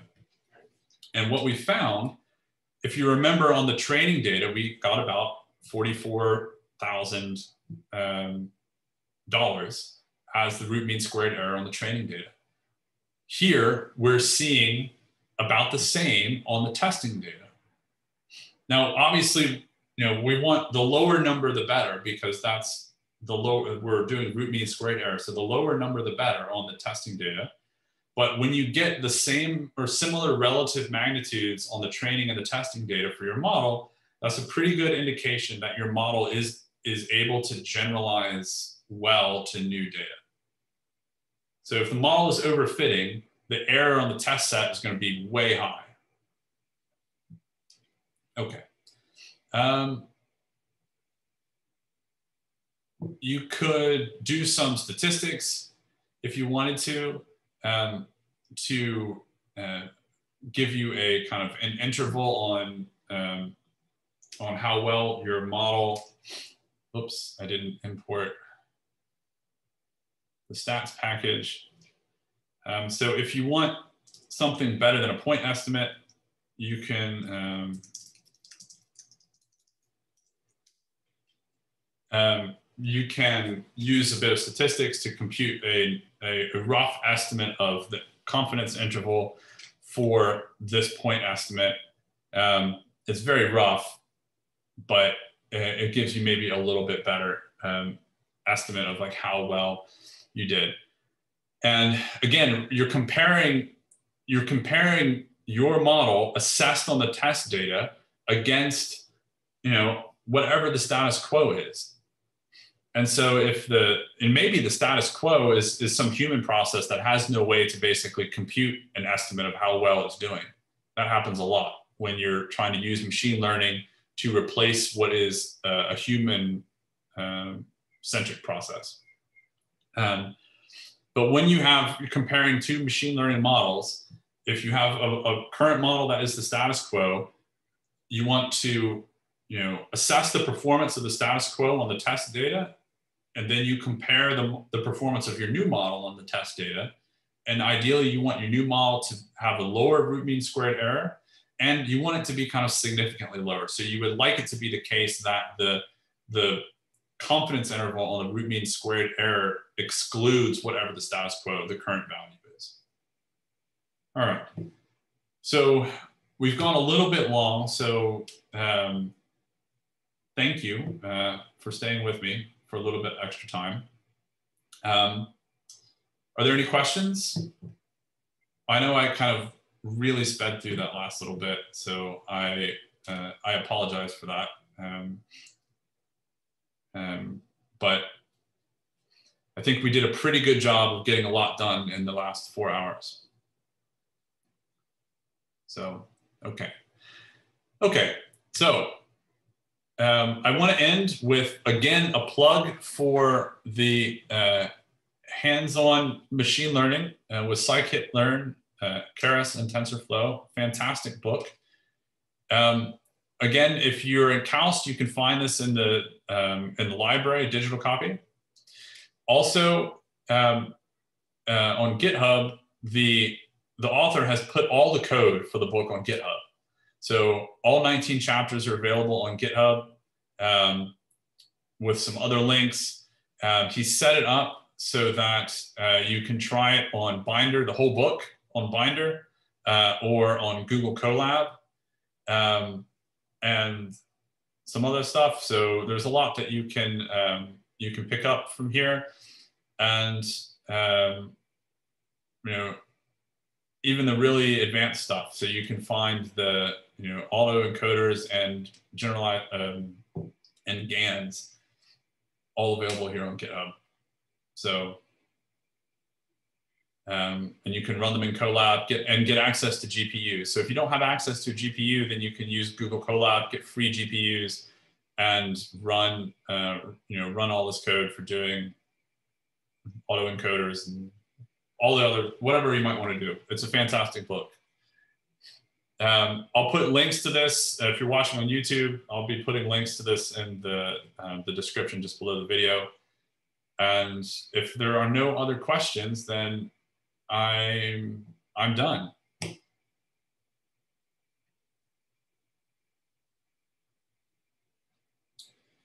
Okay, so let me just stop sharing for a moment. So there are a couple of questions here. Um, in evaluating any algorithms, is this always done in training? So there, there's evaluating algorithms has a two-step process. So the, the, the final evaluation is always done on the test set. But along the way, it's always good to evaluate your model's performance on the training data. And then, you know, to do some sort of either cross-validation to um, split your training data into training and validation data to to assess kind of get a better estimate of how well your model might perform. Um, so you always are evaluating your model or your algorithm along the entire kind of pipeline, but the final assessment on which you decide whether this model is better than some other model is always done on the test set. Okay. Um, how about big data on, on HPC? Whew, that's a, a, big topic uh, in and of itself. So many of these algorithms in scikit-learn will scale very easily on a single node. It'll take advantage of as many cores as you have on a single node on an HPC cluster. If you want to scale these algorithms to multiple nodes in an HPC cluster, you should use Dask. Dask is, is well set up to scale scikit-learn models. Um, if you want to use deep learning, um, then TensorFlow um, and Keras will scale to as many nodes and cores and GPUs as, as you have available.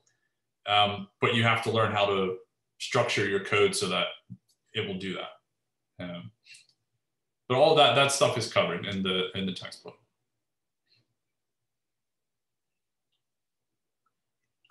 Um, so, okay, so I focus, so there's a question about, well, what if you want to compare multiple metrics? So I focused on a single metric um, for simplicity.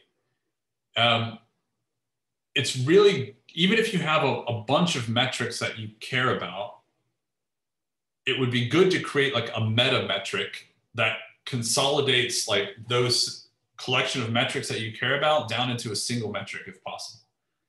Because what you want at the end of the day, um, particularly if you're in industry, this is less true if you're doing academic research, but if you're in industry, eventually somebody is going to want to say, should I put this model in production to make predictions or not? And it's really helpful if you can point to a number and basically say, this model is better than the status quo based on this metric or this collection of metrics that's represented by this, this number. Um, but there are no hard exactly how you would do that depends a lot on the context and and things like that like you could compute six different metrics for your regression problem but whether there are no general rules to say well you know you should you should care about you know root mean squared error r squared you know mean absolute error and you should mix them together in this capacity and then that gives you a number that you should care about it doesn't quite work like that I will share the YouTube channel and all the links and everything that I mentioned. They're going to be in the description below the um, below the, the video.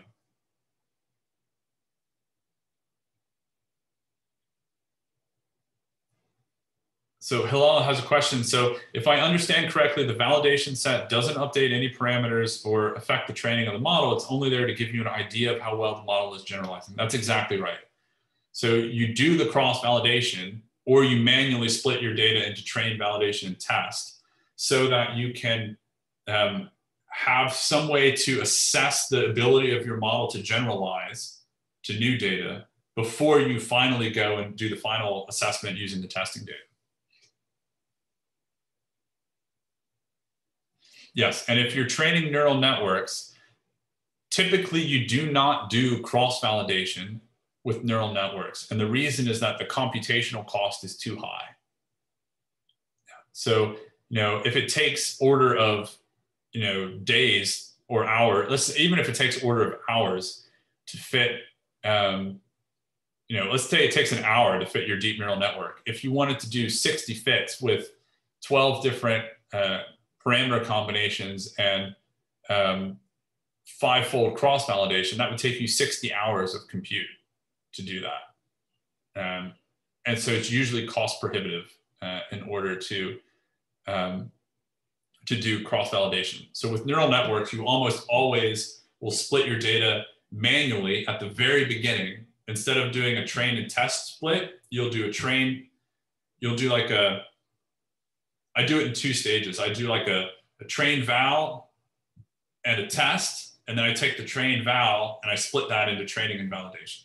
So it's like, and you can even use the model selection function in scikit-learn to do that if you want.